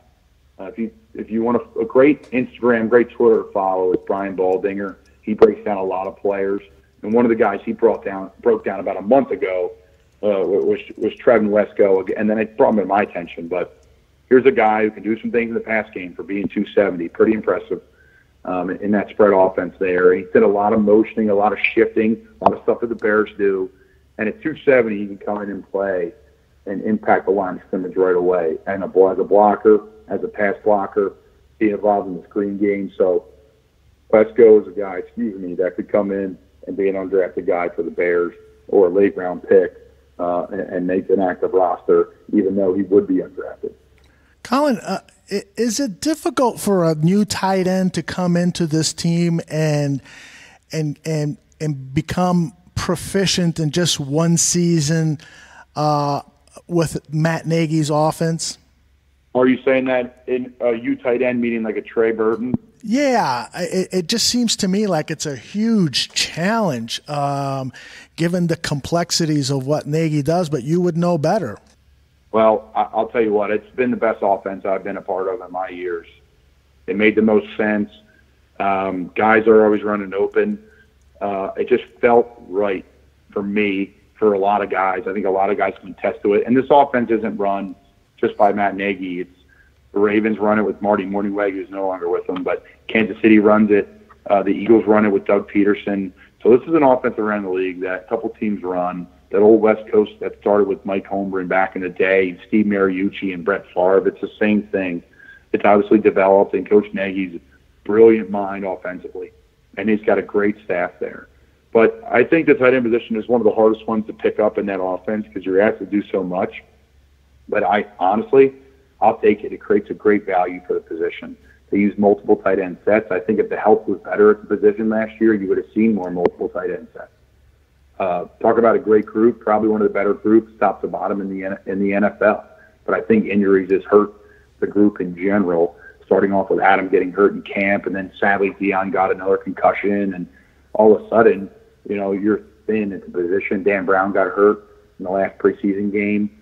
Um, Dan, uh, Ben Braunecker got hurt in training camp. So, you know, it's a deep group, uh, and you know, this year it's it's a little slimmer with the departure of some guys, but I think they'll bring in some guys. And, and uh, again, to answer your question, it's a complex offense, no doubt, but I think it's it's it's hard for everybody to pick up in your first year. I think you'll see more Trey next year. Uh, he's a dynamic player, a great person, and he can do a little bit of everything for the Bears on and off the field. Colin, knowing what you know, like you said, with it being a little bit uh, slim in the depth chart, you know, Trey Burton, Adam Shaheen, and actually when we had you on before, you were you were talking up Braunecker, you know, about how you know athletic and fast, you know, he is. And I was really glad to see them bring him back. What what type of a tight end do you think that Nagy would want to to blend in with that group? I'm looking at a kid like Foster Moreau from LSU, and I think you know, the, this yeah. kid, I think he gets killed a lot because he's not the guy, like you said, that's going to get down the seam and make a bunch of plays in the pass game. But I still think that there's a lot of upside there for him just in that LSU offense. He didn't get a lot of chances, and I mean, he's such an aggressive blocker. I could, I could run tape back on him and just watch the, that kid block all day long. I love it. Is that a kid that you yeah. like at all, and do you think that he would fit in? Yeah, he was. He was a guy that's on my nose as well. Um, and I wanted to give you the three bigs and then maybe a guy I would think undrafted. I think Foster, you know, 20, 22 catches, 272, two touchdowns, right? It sounds a lot like my college numbers. Mine were even lower. But he's a part of that LSU offense where they're flipping that ball back there and they're going to yeah. ground and pound. They're on that clock and play great defense. To me, you know, there's plenty of great tight ends that have been a part of that system. 6'4", 253. He's not overwhelmingly, he- overwhelmingly heavy. He looks a lot bigger than that, though, I thought, too. When I saw 253, I was a little shocked. I think that's a great. To, I think it's a great answer. Him or Wesco to come in and be physical with that group. I think Adam has grown to become physical, but he he's like a big Trey Burton. You know, he's like a big Gronk. Uh, Trey obviously has been more of a receiver. He's got the shovel passes. He's like a he's a gadget guy that can do a little bit of everything. And then Ben's a pure speed guy that's physical. He's got the frame, great athlete. So again, I think that's a great um, fourth, fifth tight end option with the Foster Moreaus and the Wesco and some of the bigger, more pro style guys. I think that'd be a good, healthy blend for that group led by Kevin Gilbride uh, Jr. I'm looking at guys because, like, like you said, I'm looking at guys that give them an option in, in terms of like you know stretching the seam, right? So two kids that really caught my eye. They're West Coast kids. So I'm not sure if you had a chance to take a look at them. One is uh, Kahale Warring from San Diego State, and the other one is Josh Oliver from San Jose State. Have you had a chance to take a look at those two kids? Yeah, so Oliver, he's 6'5", 249. He, you know, he's not a blocker, uh, but you know, he, he's like an H back type guy in the slot. You know, he's like a big slot receiver. Um, but you know, crazy athlete. I could see. You know, the thing with the tight end position is, I guess what will fill you guys in on it if you look at the NFL, there's like 35 legitimate top stars. You guys can probably name them all, maybe even less. Uh, and then the rest of us, I should say, because I'm one of them. It's kind of a blend. It's like, okay, you want the guy's to be a little bit better here, but a little worse here, or a little bit better here, you know. So, but Oliver's a guy that's going to line up um, and and just out athletic you. Um, maybe like uh, who's the guy that came out of Penn State last year that went to Miami, the volleyball player. Gesicki, uh, Mike Gesicki. Mike Gesicki, something like that. So I think that's a good one. And then who was the other guy you said again? Uh, this kid from uh, San Diego State. I think it's his first name is pronounced Kale. It's K H A L E Warring. Yeah, Warring. Yeah, I heard good Yeah. things about him. You know, I, I have I heard good things out of both. Um, and, and again, I, I'm on I'm on the CBS Sports side that says the top sleeper tight end in the class. So that says a lot. And again, there's so many sleeper guys. Tight ends are like the running backs, where you can almost get a guy on the draft and you can get a guy middle round, uh, like a Kittle, come in and just light the league up. Um, so no, I think tight end, running back, there are two positions where um, there's there's a premium for them, no doubt about it. But you can find these guys middle to late rounds that can make a real impact on the team. Guys, uh, any other tight end names you want to throw at Colin? Get his uh, input. Yeah, I do. I have one more guy. I went with more of a blocker last time. This is more of a vertical guy, but Mack up in Notre Dame. Colin, do you have any Oh, yeah. thoughts on him? I mean, I see some special athletic traits there that really I thought should have been used downfield a lot more in Notre Dame, and, and he really wasn't. And I think that he could be a guy maybe that they could get up here. Like you said, you just never know when these injuries are going to creep up, and he could be a guy that could uh, make some plays downfield for Mitch. Yeah, I, I, I, he looks like a guy that came on late there, and and I saw a bunch of articles on him. Like everyone's sleeping on this guy, and again, it's that tight end position where there's a premium at the top, where you're like amazed by these three or four guys every year, and they all are usually really good and pan out, and then the rest of them is like, okay, which one can we find that can come in and play right away?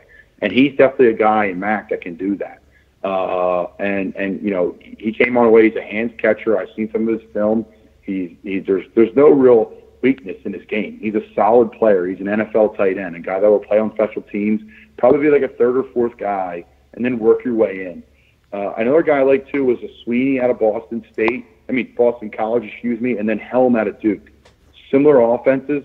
I, I covered both games. Temple played BC this year, and Temple played Duke. Helm had a bunch of catches in the bowl game, and Sweeney I think caught a touchdown or two against Temple. So there are another two guys that are kind of in that fold. Like I said, there's like a top four every year, and then okay, who's left? Who can we find? Who's the diamond in the rough? And I think all the guys you named and a few of the guys I named, they're all part of that. And again, we understand where the Bears are with their draft picks, where their salary cap is. So undrafted players, late round picks, have a real shot to make the team.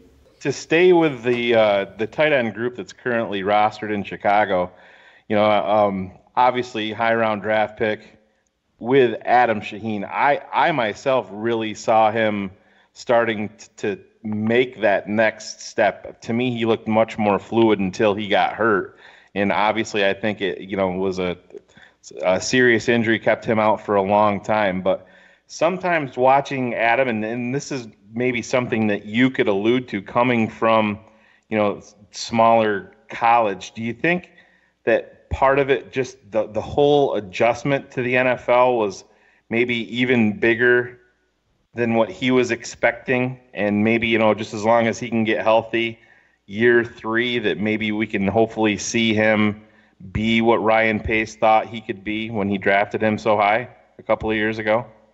Well, yeah, I mean that's a great question. Uh, um, you know, Ashland, right? D two. That's that's you're coming from a really small place, but it to me, it's the person. It's what are you willing to do? And Adam's personality and his work ethic are what exactly it takes to be successful. Whether you're from Ashland or Temple or Notre Dame, right? LSU. So it's really the person, not the school. I think. And he's a worker. He's a workaholic. He's always in the weight room he's the first guy in every time you're there and the last guy to leave. Always doing the little things to get better, stronger. How can I make these things better? And and that's why when I got when he saw I got hurt, it's just a fluke thing, right? He just kind of was playing out the field and slipped on that grass in Denver, and all of a sudden there you go. So unfortunate. Uh, he's not an injury-prone guy, even though he's had injuries. You know, it's a shame. I don't think he's that. He works so hard to keep his body right. But I think his role will really develop this year. You saw last year with the jump ball. You saw that ability. Uh, he's got great speed for a big man, the fastest big man I've ever seen, um, by far.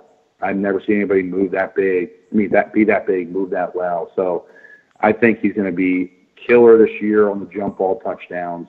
Um, him and Mitch are going to have more opportunities to work on those things. Allen Robinson's a bigger receiver, but Adam Shaheen is a really big receiver. So on the goal line, put him out there against a corner, against a linebacker, If the if the linebacker or corner play outside leverage, run a slant. If the they play inside leverage, run a fade. So I think there'll be a couple touchdowns at Adam Shaheen in the back of the end zone in Soldier Field this year, and I think he'll have a nice year uh, and a bounce back, healthy year for the uh, second round pick at Ashland. Colin, have you had a chance to see the uh, uh, the Bears schedule that was released uh, a few hours ago?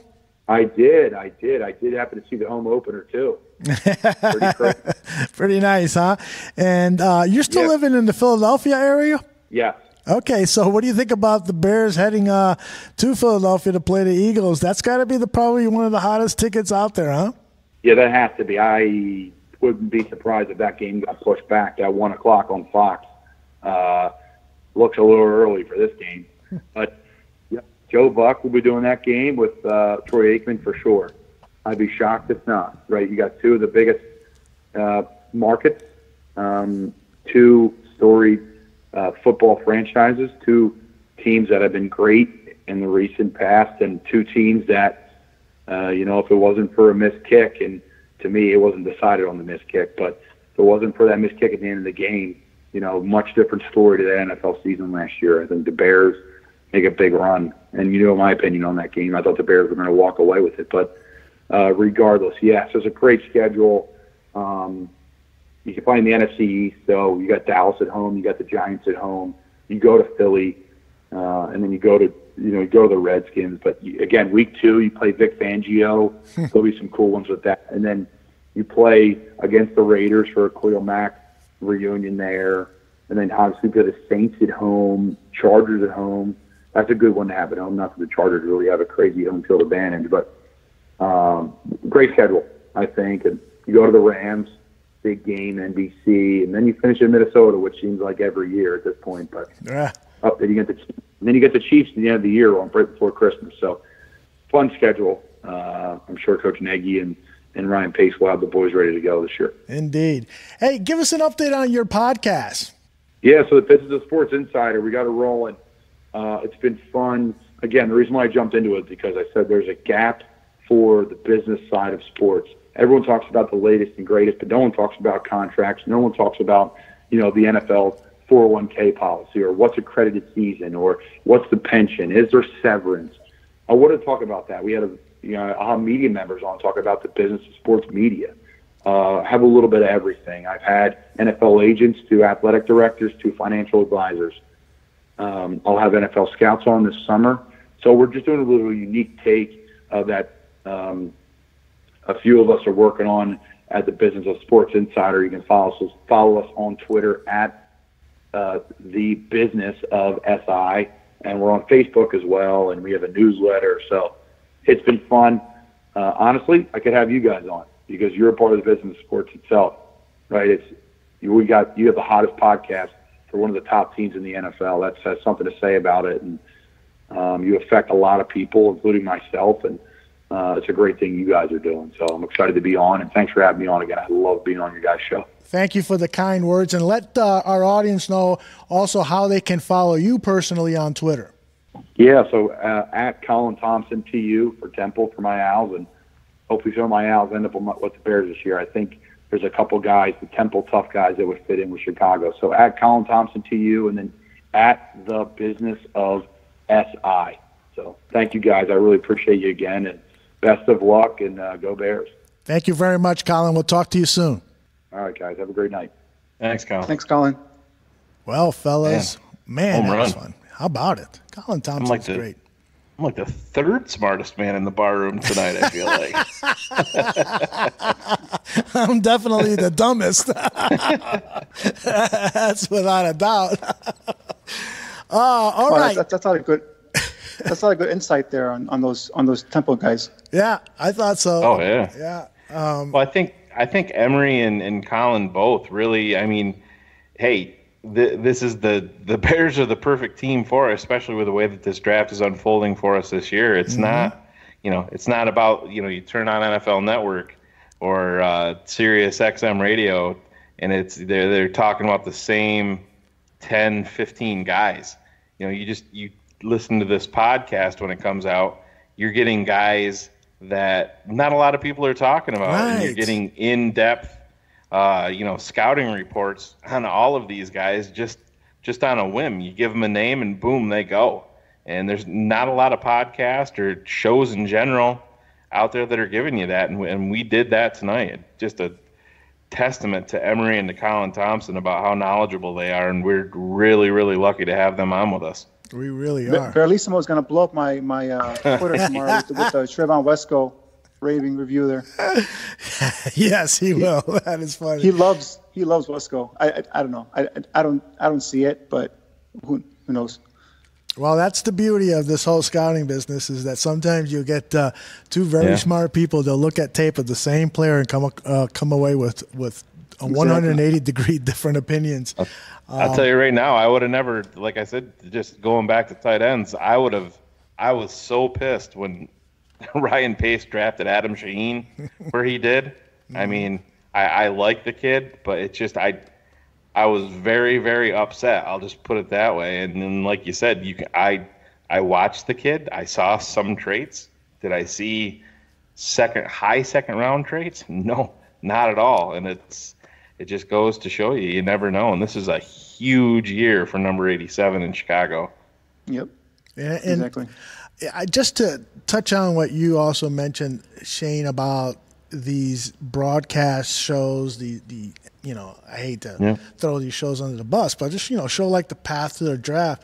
Yeah, they focus too much on the big names in the draft and not nearly enough on guys Yeah. that they should be highlighting because the you know it, it I think it would interest the audience more to get a report on Rock Ya-Sin. who Totally they've- agree. Who they've hardly uh, talked about, or Bruce Anderson, the running back from uh, what is it, the northern uh, North North Dakota. North Dakota State. Dakota, yeah. Yeah, guys like that that you know are, are going to come into this league and make an imprint. Uh, you just know that they are, or that they're very likely to make an imprint.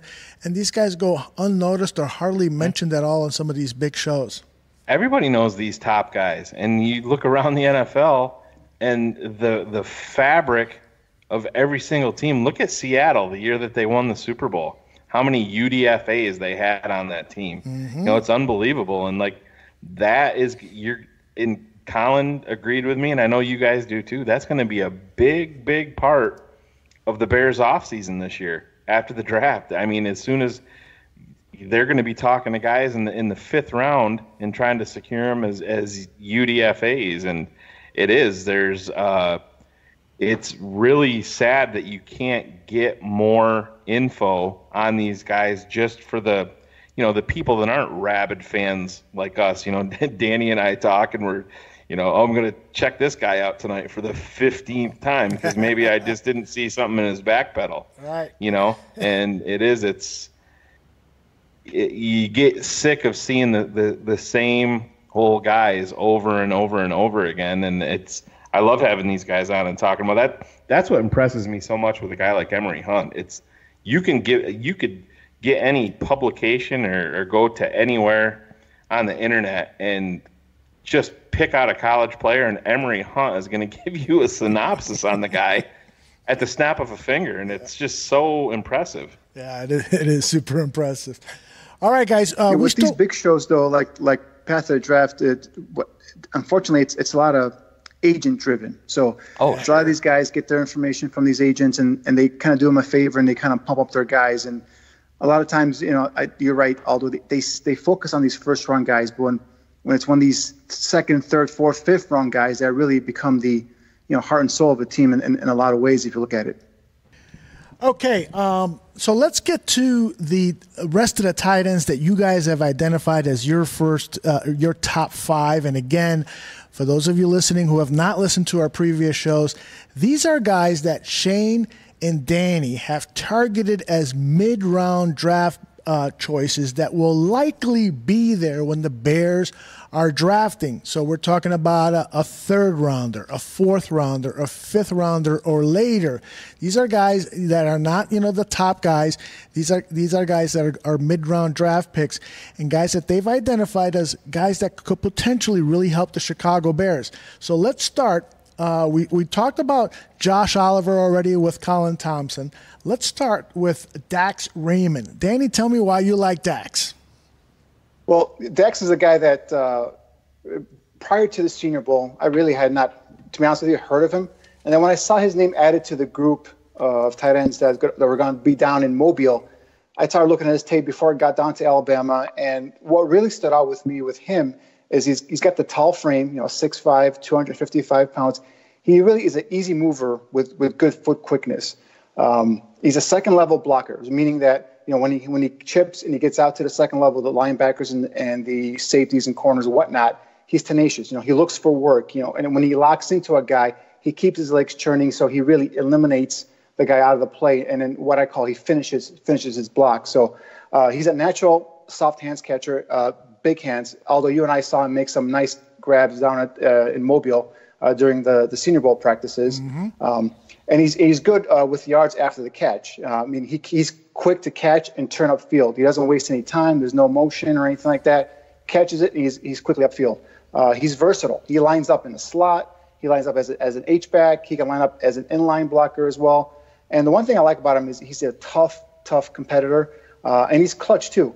19 of his 27 receptions went for first downs. So that's a guy that the quarterback trusted and went to uh, and a crucial play to to go and convert and move the chain. So you know things like that is, is what I like about about Raymond. Excellent, uh, Shane. What have you seen out of Dax Raymond? Uh, do you agree with uh, Danny's uh, assessment? I do. He's a he's a kid that wasn't on my five, but he is a kid that I'm very intrigued by. And Danny, I see when I see him, I think the way that he is going to transition to the NFL, the way that these NFL offenses are going, I think that he's a kid that's going to be a better pro than he was a collegian. Is that? Do you agree with that?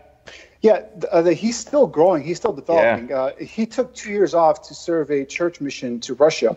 So uh, before he attended college, so he, he's still a guy. He's going to be a 24 year old rookie, but yet he's still a guy that's developing. And what do you like about him is, and you're right, Shane. I see him more as a as a move tight end, a guy that kind of flex yeah. out slot and and eventually, uh, I think he's got the ability, he's got the frame to add on some weight to get stronger. And then also, I think he's got the will and the want to to be a blocker. So that's important because a lot of these kids don't want to block. They just want to go out there, run routes, catch, you know, catch touchdowns, and that's it. But if you take a look at Raymond, when, when he blocks, he gives an effort and, and he tries. Yeah. It just he doesn't have the size and he's not yet in terms of play strength there yet. You know, but you know, you bulk him up, you get him. You know, we've talked about this on previous shows. You get these kids on your in your system in your programs. You you give them the nutrition. You get them stronger, and you know the want to is there with him. And I, I think he will be, uh, or, or he could be a serviceable inline blocker. But you're right. Initially, his his moneymaker is going to be his hands and his ability yeah. to run routes and, and catch passes out of the slot primarily. Yeah, and you see you see the Bears you, and Nagy. You see you know how they like to use that tight end screen I have written down here versus Air Force. I don't know if that was a tape that you watched of him. He took a screen pass in that game, and I'm like, wow, this you know, that's kind of really what stood out to me most with him. Just kind of being really, really surprised. I wouldn't say that he's got um, elite top end speed for a tight end, but he's got more than enough to right. uh, to make a play like that. And um, like I said, I think he's just going to be a guy that grows in the NFL, and he, you put him in a place like Chicago where he doesn't really need to come in and play a ton of snaps. He's a guy that can kind of learn, but then he's also a guy that you can bring in in the third quarter that's fresh and he can pop one off and you know totally change uh, the direction of a game by making one play, like you said.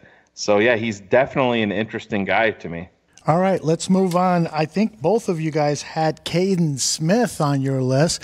Uh, Shane, share with us what you like about Kaden. I I didn't. That was oh, Danny's okay. guy. Ah, yep. all right, Danny, tell us what you like about Kaden, and then we'll get uh, uh, Shane's uh, fighting words with you about Kaden Smith.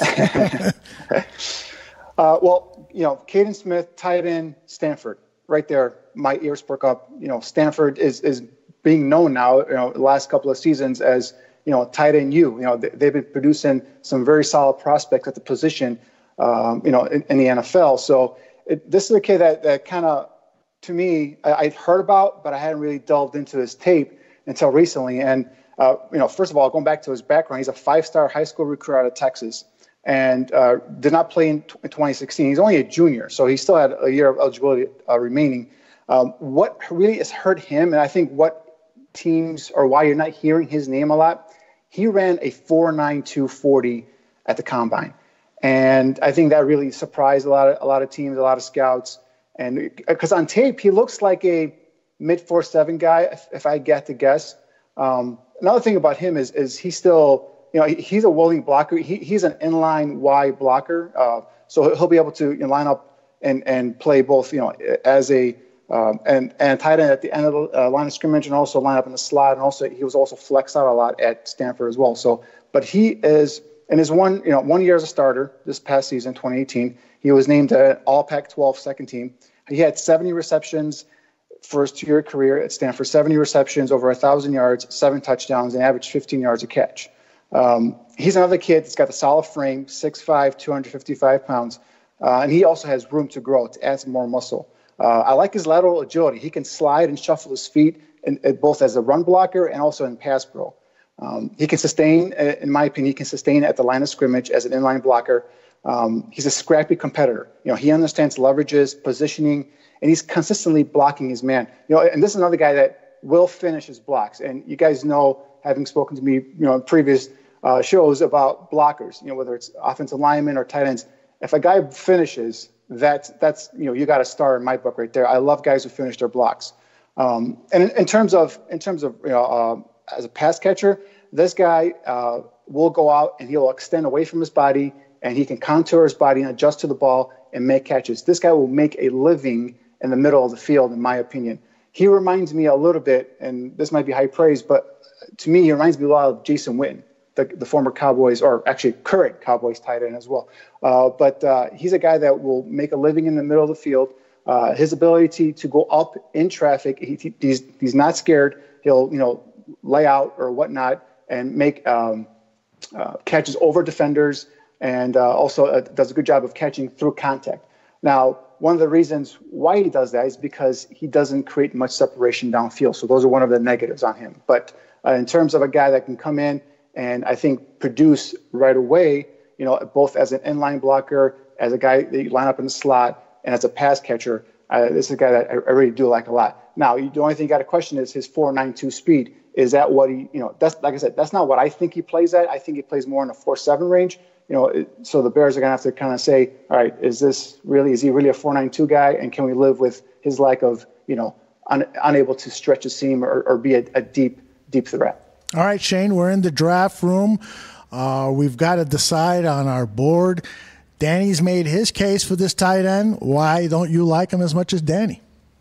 The biggest thing that concerns me, and Danny already talked about it, the lack of separation. And I think that that's what's contributed to his ball skills that are as good as they are, Danny, you'll probably agree, because of the lack of separation. And that's where it's a red flag for me is if you have a lack of separation in college, that's only going to get that much worse at the next level.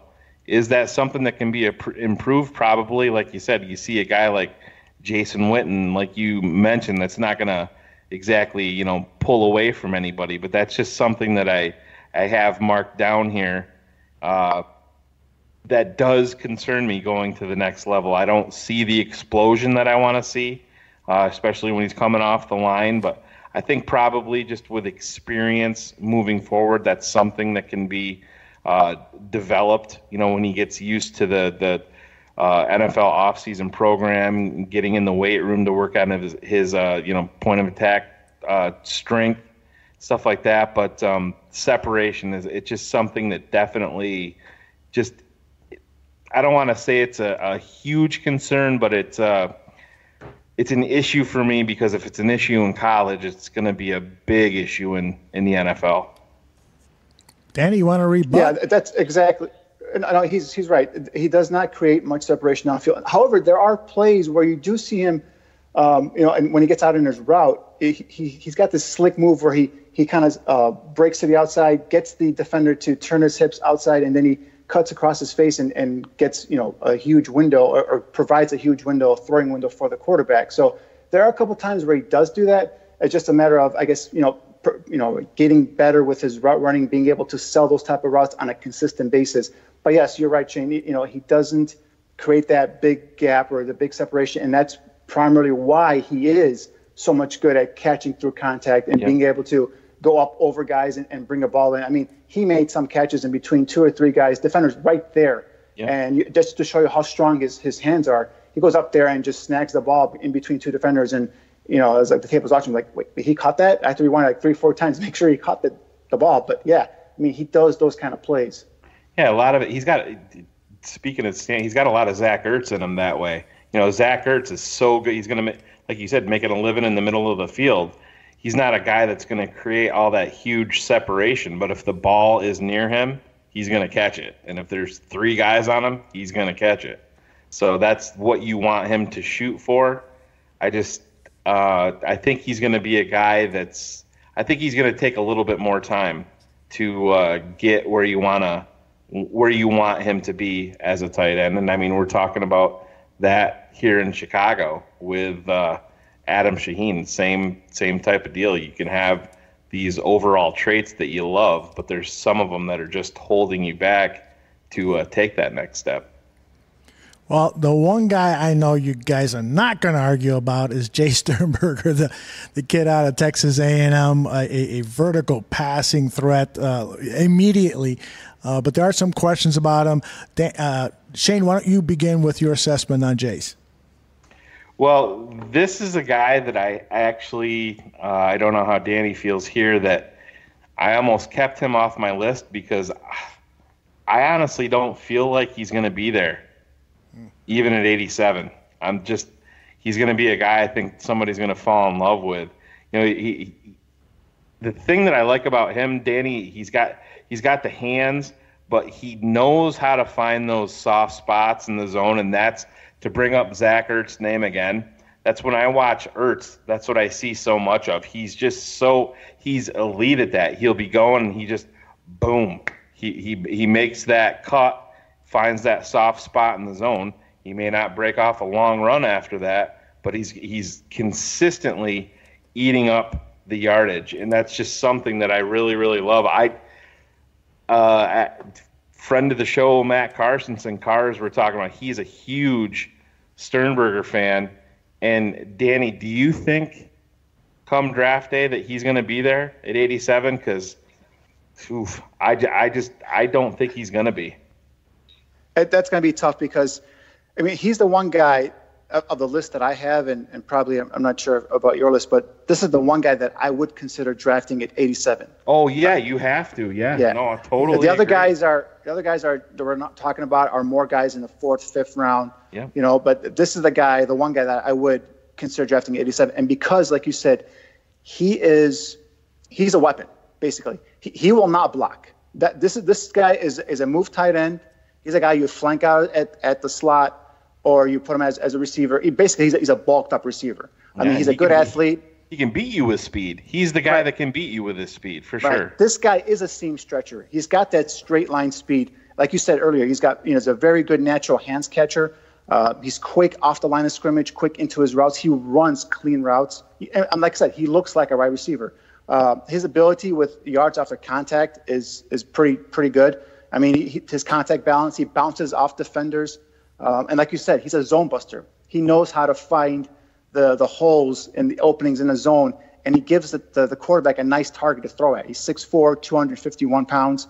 Um, so, yeah, this is a guy that I think, you know, and, and, and, when you watch him and you watch him separate at the second level from linebackers, again, crisp routes, he able, he's able to set up the defender and then just break open. And this guy will create the, uh, the, the window that we were talking about earlier with – Kaden Smith not being able to do that. Uh, but you know, and also he, he's tough. You know, he's a tough-minded guy. This guy also will go over the middle, make tough catches. Um, but again, he is strictly a stretch or move tight end. Yeah. He's not going to block, and and you know, if you try to put him at the line of scrimmage, he will get engulfed. He will get bullied. So yeah. you know, now to his credit, he does try. You know, there was a couple times uh, Jimbo Fisher lined them up at uh, at the inline as, as a Y, and I mean he gave it an effort. I mean, it yeah. wasn't very good, but he gave it an effort. So you know who uh, else used to be like that in college? Greg Olsen. Greg Olsen. Yep. Yep. Same thing. And you know something that I've noticed about him too, Danny, and I should have touched on it before, is you know you're talking about him, you know the toughness factor. I don't know if I've seen another tight end that absorbs the contact so good and keeps going. And that's a huge Sternberger? part. Yeah. That's a Yeah, huge and the way and he bounces off of contact. Yes, that's what's and even then just gobbles up. He gobbles. That's hidden yardage, and all of that adds up at the end at the end of the game, and that's something that Exactly. can't be undersold. One thing that I'll ask you, Aldo, Bears go out at 87 and draft Sternberger. Who's that sending more of a message to? Well, in the tight end room. Clearly, uh, Trey Burton, in my mind. Uh, Yep. I think that because they've invested a second rounder in Shaheen and because he's had legitimate excuses of injuries slowing his development, I think that the message is more for Trey Burton. Uh, they, they would play a similar position, that pass catching joker type tight end. So the message is sent Trey, if, if you don't. Uh, you know, we've we've got an out on your contract after the 2019 season, if I recall correctly. So if if you don't deliver, you know, you uh, you, you're on the block here of uh, being moved out. Is is that the answer you think that I was going to say?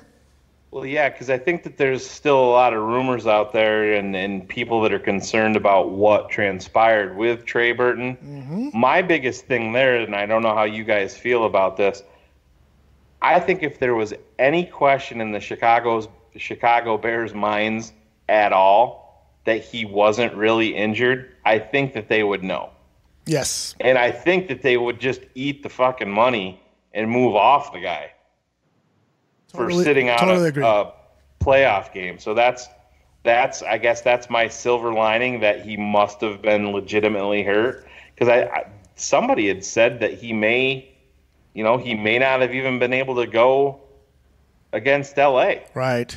So you know, Trey Burton's got exact. I, honestly, I think he was probably their top tar. I'll even put him as their top target over Allen Robinson in free agency. Mhm. Just how important this position is in Matt Nagy's offense. I think he was probably all right. We this uh, we're going after him, and then we're going to fill in from there. You know, there was rumors of Sammy Watkins, and maybe they would have settled for Sammy Watkins if Allen Robinson didn't want to come there. But who who knows? Sternberger is that guy, mm-hmm. and I do agree with you. And you can't have enough of those guys, especially in this offense. And it's a, a tight end is going to be Mitch's best friend.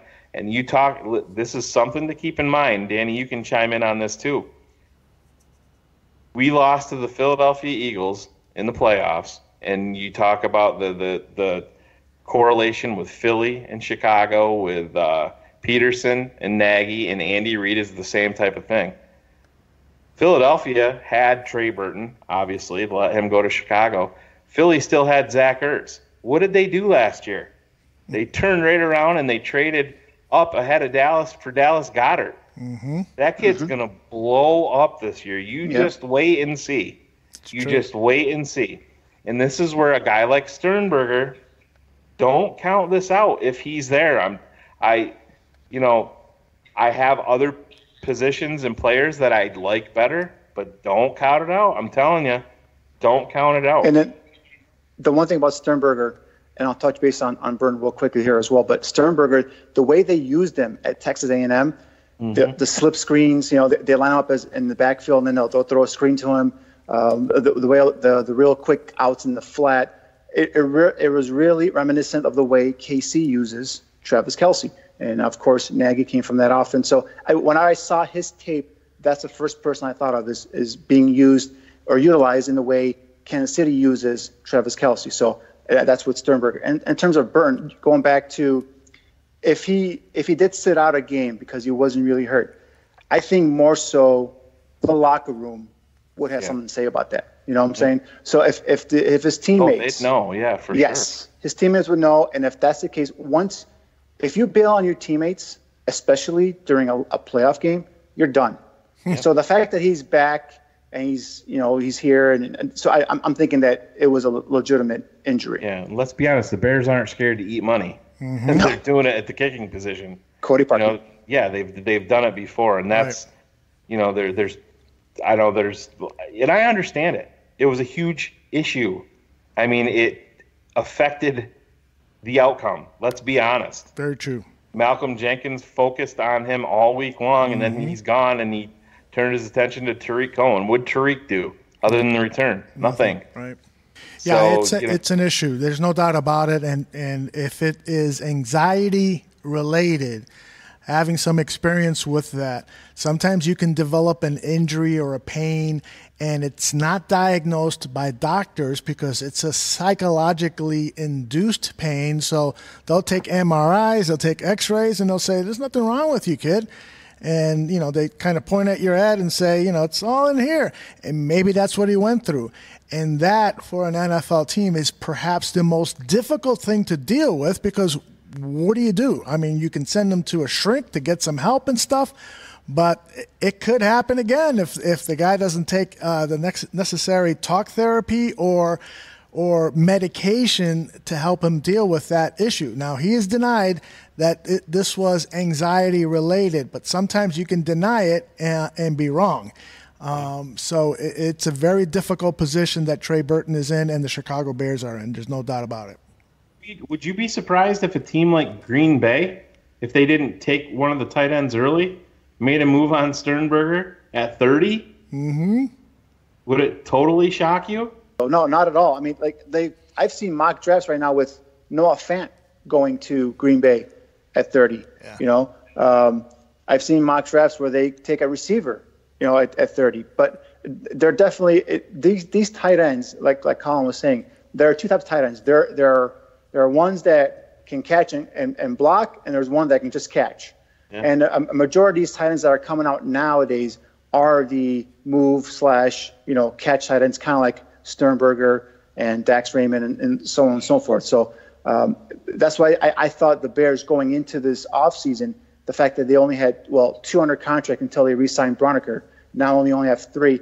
I think not only could they draft one, they might sign one as an undrafted free agent. They might even go get a veteran to come in and, and fill in you know, or just to play as well. Because remember, they carried five tight ends last season. Yeah. And uh, if, if you if you get a guy like Sternberger, for example, a move tight end, a guy who cannot block, you still need to get a blocker. Now, you're you going to go get a, a UDFA, uh, a college, you know, un- undrafted free agent, or you're you going to go get an actual NFL um, veteran blocking tight end free agent? You know, so I think I think the, there are more moves to be made at the tight end position than than we all realize. Yep. And I would just if if Mike North was on here, I I, I wouldn't bet two jelly beans that he's going to be there at 80, 87. I I just don't I just don't see it happening.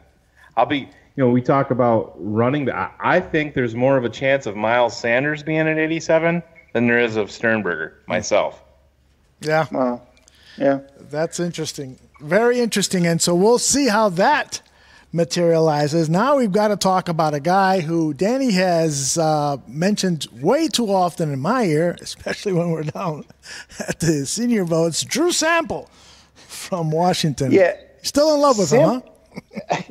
Yeah, Sample is another guy that that when I saw his name uh, as part of the um, tight end group over at the Senior Bowl, I started looking at his tape and I'm like, man, why isn't this guy utilized more? I mean, if you take a look at prior to this season, you know, he, the most catches he had in a, in a season was nine back in 2016, and this past season he had 25 receptions for 252 yards. But if you look at him, I mean, he looks like just like a natural hands catcher.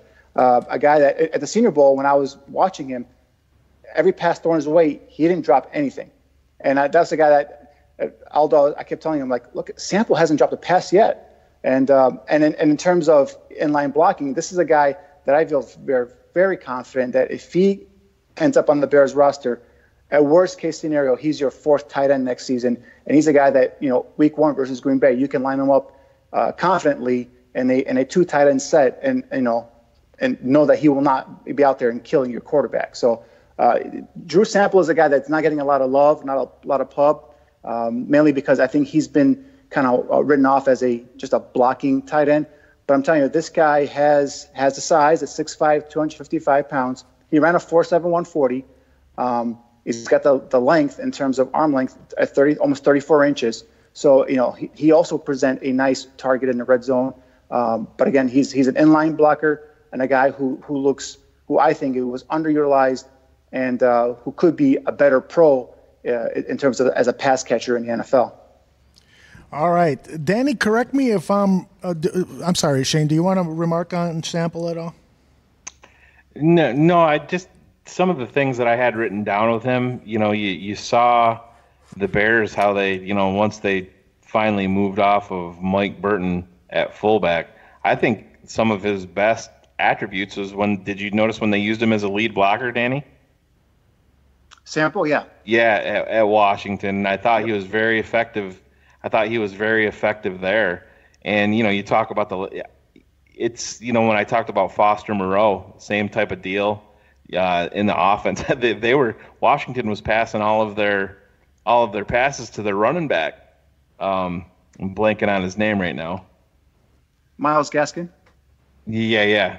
You know, and the guys like that, and then didn't they have another one more? Another Maybe RB? he's not. Can't. Anyways, I don't know. I'm blanking on it, but yeah, he's just a. I, he's a guy that didn't make my list, but I think there's so many. Um, Colin alluded to it. There's so many guys, and Danny, you did too. It's it's it's not a lot of you know guys with their magic bag of tricks. It's they're doing one thing or they're doing another. There's not a lot of both, and that's what makes guys like Sternberger so so valuable because the way that the, the NFL is moving now is it's you know pass pass pass and tight ends getting matched up on linebackers and, and safeties and making plays downfield. So, you know, he's a guy like you said. I think fourth tight end, bringing him in here, uh, would definitely have a future. He can't he can't be any worse than Dion Sims was. You know, you know what they brought him in no. here, and I think he offers you a lot more upside in the passing game. But uh, he's he's a nice player. I just he I just didn't have him on my list. Right. And again, this guy, this is a guy that, that, I'm, I'm thinking about maybe in the seventh, you know, maybe in, the, in I know they don't have a sixth round pick, but someone late in the draft uh, that you can you can put on your roster and, and the guy who can contribute right away. Um, you know, the, the, fact that we were talking earlier about uh, Sternberger being a, a, zone buster, you know, watching Drew Sample, he does a really nice job of finding holes in the zone as well. And he just sits there, he just sits there and he gives, uh, he squares his shoulder back up to the quarterback, gives him a nice big target to throw at. And like I said earlier, he, he's a he's a hands catcher. Um, didn't see him drop any passes at, at the Senior Bowl, but you know, uh, again, he just looks like a natural, smooth pass pass catcher and a guy I believe similar to your to your kid Moreau from. Uh, from LSU. I, I, think he was underutilized as well. And I think those two guys, when uh, put in a right system and, utilized with a with an efficient NFL quarterback, I think those guys are going to surprise a lot of people. One of the things that Dane Brugler wrote in his draft guide for the Athletic.com is that. Uh, he does a really good job, Sample does, of working with the scrambling quarterback, uh, getting open, and there's a good communication there, which would make him kind of an, an ideal candidate for uh, uh, Mitch Trubisky, who has to create so many plays on the run. Uh, that's something to look at. Another thing that is uh, interesting to note about Sample is that he's a very, very mature uh, football player. His his coach said that every single day he is the model of what it should look like. This guy is just a, a, a professional. He was a professional a, a, as a college football player in terms of how he handled his responsibilities and so forth. But the one knock, according to Brugler, is that he just sometimes um, doesn't do much after the catch. He, he just doesn't have right. that elusiveness to uh, create YAC yards after the catch. But uh, he's a very intriguing athlete, and I'll tell you what. Uh, Danny loves this guy so much that if he does come to the Chicago Bears, we're going to have to get these two guys together on a date night. Well, I, I don't know if, if, it's between him or Josh Oliver. I, I know Colin kind of poo pooed my Josh Oliver guy. he did. well, talking about your guys, here's uh, your list, if I got this right Dax Raymond, Drew Sample, Kaden Smith, Kahale Warring, and uh, Josh Oliver. Is that and Jay, Jace Sternberger as well. And Jace Sternberger. Okay, so those are the guys you had on your list. Now, Shane, we've talked about Foster Moreau uh, with uh, Colin. We talked about uh, Alize Mack from Notre Dame. Uh, Josh Oliver, we've talked about. Jace Sternberger. So that leaves us with Dawson Knox. Tell us why you like him.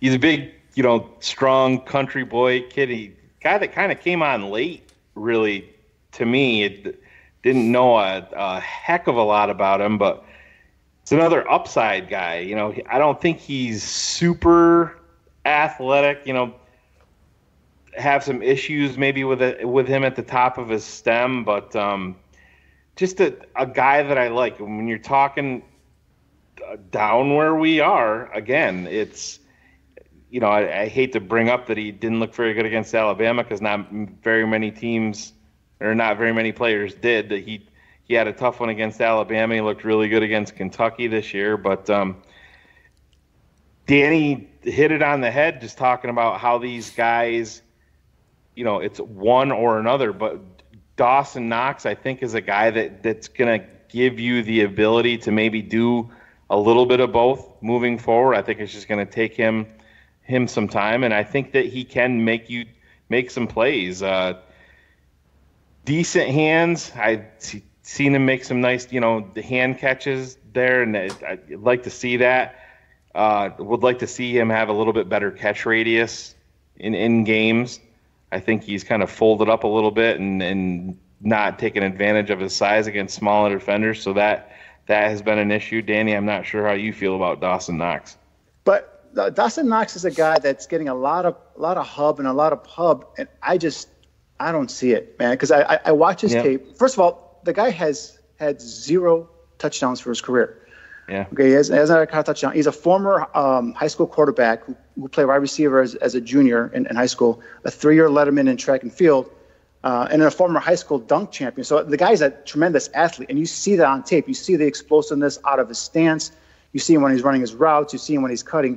But the, the couple of games I saw, he dropped too many passes for me. Now, granted, he didn't get that many ball storm. I think he only had what 18 or 19 yeah, they receptions didn't, they, for the season. They didn't use him very much. That's that's for sure.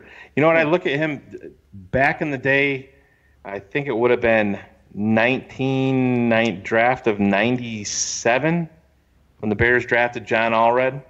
Mm-hmm. He was a guy that I don't ever think was a great prospect overall. He just he's a tools guy. I think he's got everything you want to work with.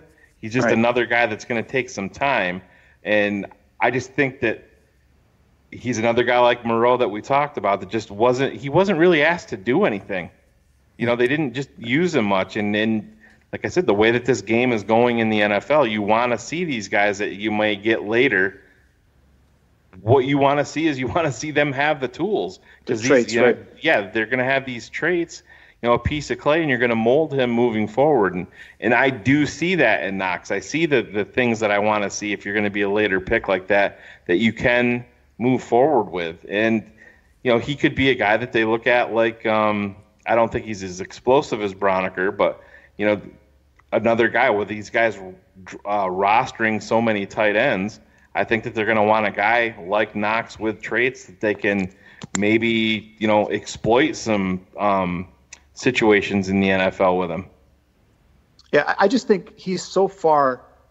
Um, he, he needs so much more development. That I, I think he, he wouldn't be able to help them next season, in my opinion. I, I think I, I think he's a better athlete than Braunecker, just from just looking at his tape.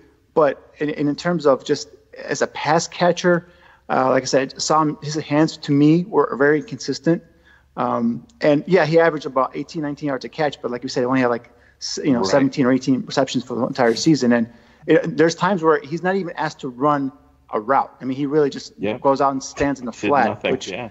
yeah, and and I know they have the NWO, you know, Mm-hmm. uh, the uh, nasty whiteouts, uh, like that they can call themselves out there. But uh, it's just something that if, if you were a tight end prospect that I'm going to draft, you at least have a career touchdown, wouldn't you? Yeah, well, yeah, you'd think, especially in college, you'd think that you're just going to fall into one at some Right. point. Absolutely.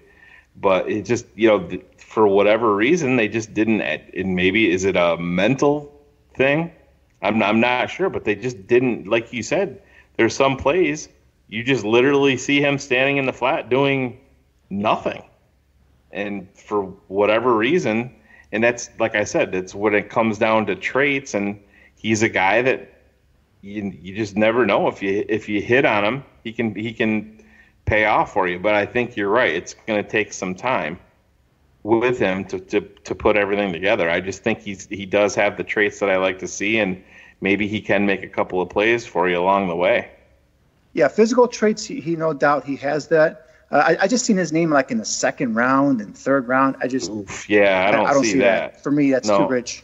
Yep. I agree there. Well, it's funny that you say that because Dane Brugler over at the Athletic has him as a, as the 85th overall prospect on his board.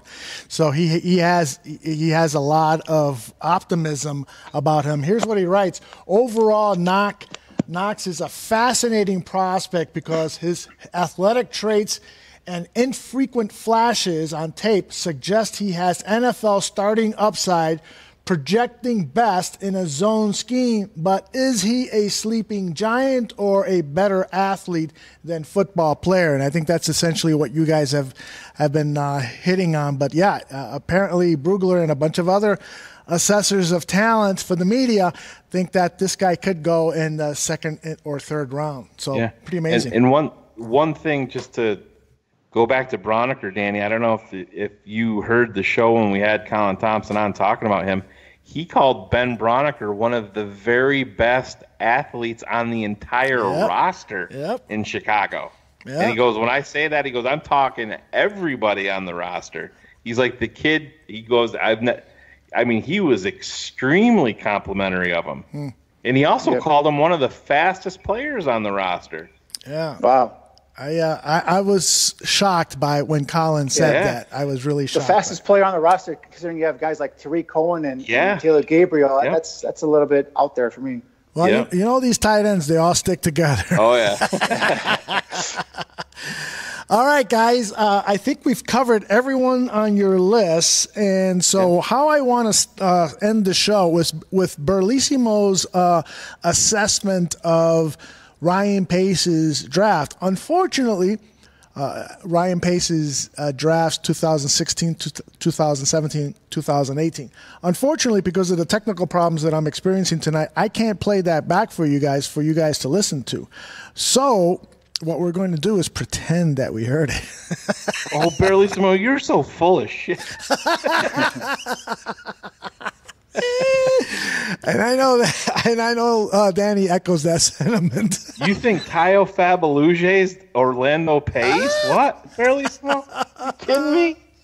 I'm just waiting for the, uh, the Trevon Wesco uh, yeah. DMs tomorrow morning. Yeah, Trevon Wesco is uh, going to be a, a star in in Bearlissimo's eyes after he heard Colin's assessment. All right, let's get to uh, Bearlissimo's roll in here. Uh, he does a really cool thing where he talks about all the players that Pace has drafted from 2016, 17, and 18 and assigns them a category stud, could, or dud. And he will explain that. Roll it. Good evening, Draft on Tappers, Barflies, Bears fans, ladies and gentlemen, boys and girls. After last week, I reviewed the 2015 draft and I gave you uh, my appraisal on each pick. Bearing in mind, Ryan Pace didn't even have his own staff then, at least in terms of his collegiate staff. But now, obviously, between the years 2016 to 18, inclusively, that's three years, um, he's had his own staff and he's been able to pick and choose based on his own grading systems the players that he likes. So, based on that, I thought I'd uh, just go through with you on all of the picks and give a stud, could, or dud scoring system. And you can either agree with me or you can debate me at Bearlissimo. Stud means to extend or their great value wherever they are picked. Could, worth keeping on a squad until we can get something better. Dud, duh, no longer on the team for several reasons. So without further ado, let's look at 2016. We had the first pick, Leonard Floyd, from Georgia, and whilst he had defensive scores in each of his first three years in the league, um, his sack production has dropped from seven in year one, I believe, to for both of the last two seasons. And he's he started the year slow last year with some lingering effects of injury uh, with the hand, but also potentially his concussion. But he did significantly improve after being slated by draft Dr. Phil amongst others in the second half of the year, and he seems to save his best game for the Packers every year, so for that reason, he gets a cud. Round 2, Cody Whitehead, guard, centre, tackle out of Kansas State. Joined as a left tackle. He's simply a must extend in my view. He's most most consistent starter on, on the offensive line, both at guard and centre, and he looks to be returning back to guard this year. So he's a stud and one that we need to certainly extend. Round three, Jonathan Bullard, defensive end from Florida. Bullard to me coming out was a three tech who's too small or weak to play. No, certainly not an Eddie Goldman in our scheme and he doesn't seem to be long enough or, or strong enough to be able to play defensive end. And his role has diminished every single year, so he's a possible cut for me from his rookie deal. Dud. Round 4, Nick Kwiatkowski, a linebacker from West Virginia. He had one of the best hits as a blitzer that I've ever seen in the NFL, which was the hit versus La'el Collins, where he absolutely just stunned him and knocked him not only backwards but onto his ass.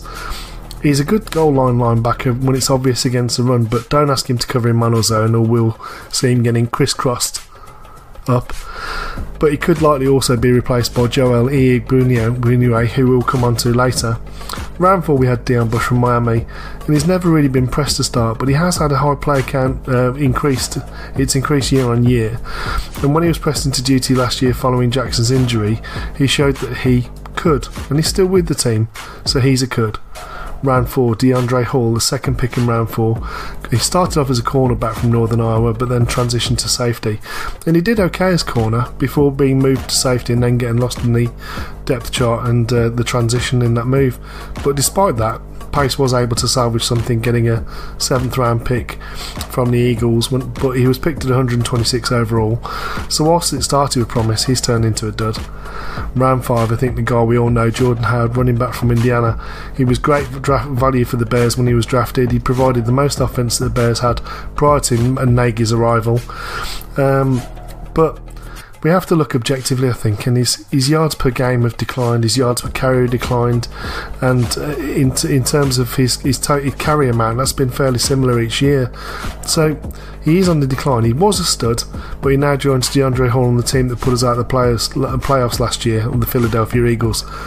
But so now he's a cud. Round six, DeAndre Houston Carson, safety, William and Mary, special teamer throughout. He hasn't really been out, been able to show much of anything else other than just being a special teamer, and he's been brought back in a restricted free agent tender, so that's something. He's a cud. Round 7, Daniel Braverman, Western Michigan wide receiver, winner of the Brock Forsey Great White Heart Training Camp Award, disappeared when given limited opportunity and he's out of the league. He's a nice guy, sadly finished last. Dud. Undrafted free agents that we're still dating from that class is Ben Braunecker. Everyone needs a Braunecker and Roy Robertson Harris, who has really improved year on year and might excel if given the opportunity to be a bully on the edge. But certainly he's got the strength and the length to play defensive end, and he's got the suddenness, I believe, to be able to play edge as well for us.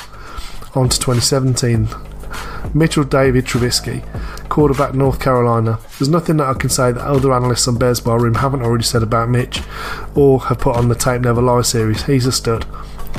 Round two, Adam Shaheen, tight end, Ashland.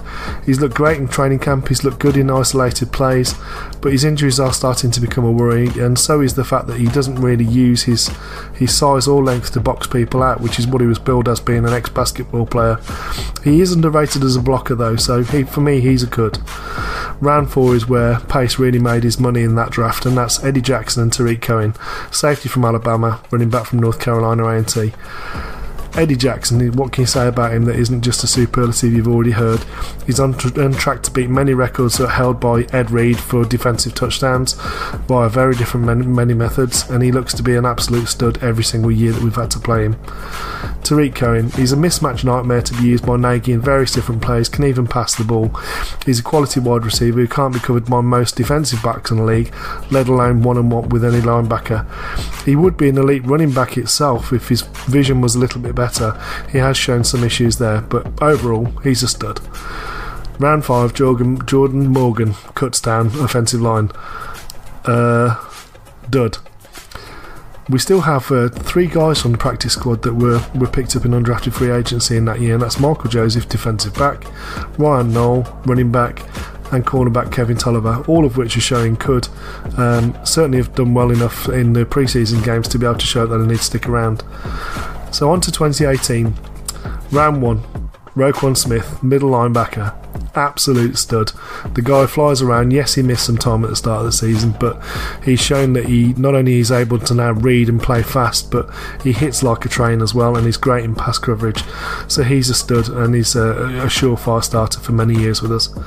James Daniels, guard now moving back to centre. Again, for me, for where he was picked, his age, his level of development from college going into pros, he's going to turn out to be an absolute stud. And I'm interested to hear what the guys say about that. Round two, Anthony Miller, wide receiver also a stud. Uh, he's played hurt all of last year, and I don't think any of us really realised it until the end of the season when it was obvious that he was injured. So, stud for me, seven touchdowns. We're going to see much more improvement from him this year, I believe. Round four, Joel Iyiegbuniwe, Iggy what can you say? His middle linebacker absolutely flying on the field in that game against the uh, the Vikes, and, and, and, certainly in the playing time that going in the Packers. It looks like it could be uh, the replacement for Danny Trevathan already in house. So for me, he's a could, possibly turning into a stud. Round five, Bilal Nichols. What can you say? The guy is an absolute behemoth. He's an absolute stud for me, bearing in mind where he was picked and the production we've already seen from him last year looking at him this off season, he looks like he's taken another step to me. So absolute stud. Round six, Kylie Fitts. That's a could for me. He has shown some ability, but like uh, Danny Shimon said, has shown also some difficulty in actually bending the edge and getting hands off. Javon Wims, wide receiver, seventh round, wide receiver.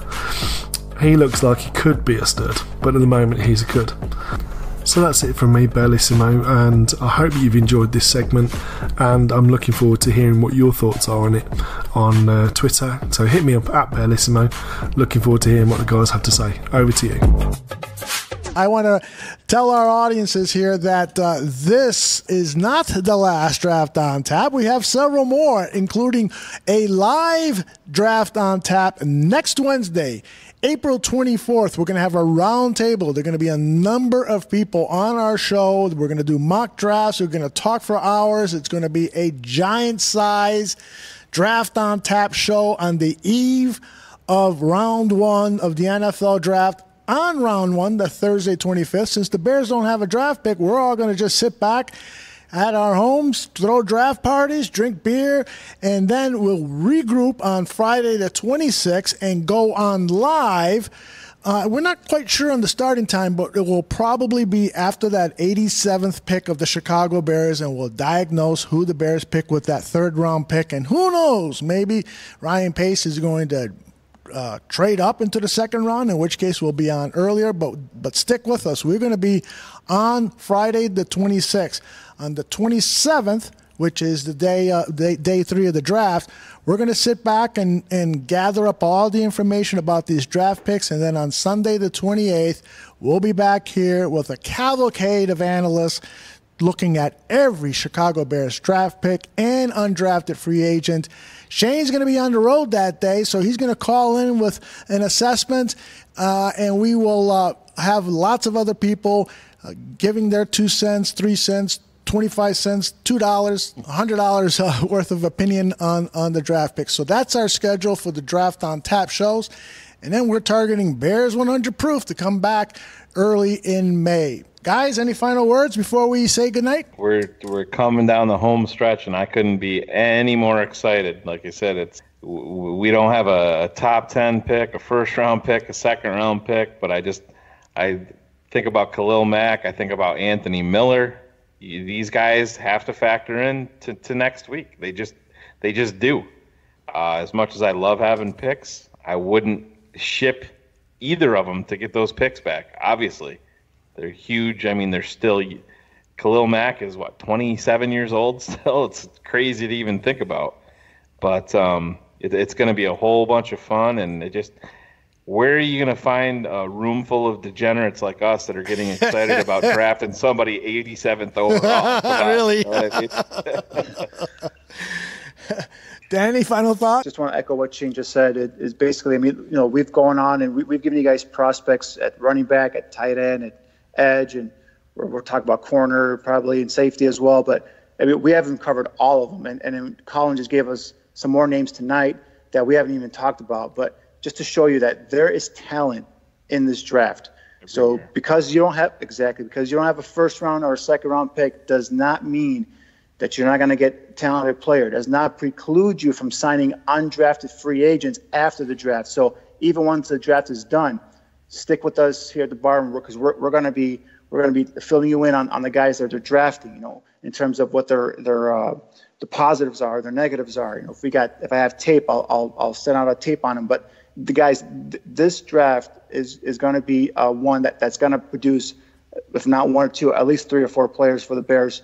Uh, because as we've gone over and we've talked, they need they have roster spots. They got to fill those spots, and they're, they're going to bring in not only this this five picks, if not more, but they're going to sign a lot of guys after the draft. And and just stay tuned to the bar room. We're going to fill you in on all these guys and what they do best. I'm not going to be surprised if there's two or three UDFA's that they bring in that we like more than somebody that they drafted. Mm-hmm. Because yep. I think that there's going to be a bunch of them. There's going to be UDFA's that we thought should have been drafted. Right, right. Yep, and I uh, I, I expect that uh, they'll go at, they'll double up. They'll draft the running back and then assign a UDFA and and tight end yeah. and, and, some of the other positions. You might see that that happen. I, I think that's very likely to happen. I'm super excited about what's ahead. I really love this part of the season. I mean, I love this as much as I like the games. And I know that's weird, but I just love the whole idea of scouting football players, identifying what their strengths and weaknesses are, trying to find the spot with them within the Chicago Bears, playing that whole general manager. This is real fantasy football for me. And uh, it's it's much more gratifying for me than, than playing fantasy, which is a game that I've enjoyed for many years. But this is this is the real stuff, and it's just a lot of fun to to talk about what ifs and who could be and, and so forth and doing it better with... than Game of Thrones. You'll get a debate. I still have not watched the show. Me either. You, you, guys haven't watched a single episode. Neither Never one of seen you. it. All right, not single episode. Nope. Well, if if you if you don't mind watching uh, people fucking and uh, actually, I gotta I gotta be honest. The other night, I I told myself I'm like I wonder if I should turn that on. I flipped it over, and there was a dude laying down, and there was three naked chicks. exactly. she got up on top of him, started having sex with him for like three seconds. And they, they like the queen wants to see you. He's like, okay, I gotta go. And I'm like, what the fuck? What's going on? Yeah, that's the show. That's Just getting good. So like, I turned it off. Yeah, and then if, if there's that kind of stuff, and there's heads being chopped off, and there's dragons, if, if you don't like that stuff, then yeah, you know you don't want to watch Game of Thrones. Uh, but uh, but uh, we've got plenty of stuff for you guys in the next uh, couple of weeks. Draft action, and then uh, the action continues here at Bears Barroom throughout the off season, as we'll be covering OTAs. We'll be covering mini camp. We'll be covering all sorts of stuff. So, and a lot of fun on 100 proof coming uh, shows coming up. We're gonna do a lot of fun stuff. So, more news on that later, guys. Um, pretend that there's background music, and I'm going to say. Uh, if you drink, please don't drive, and always bear down.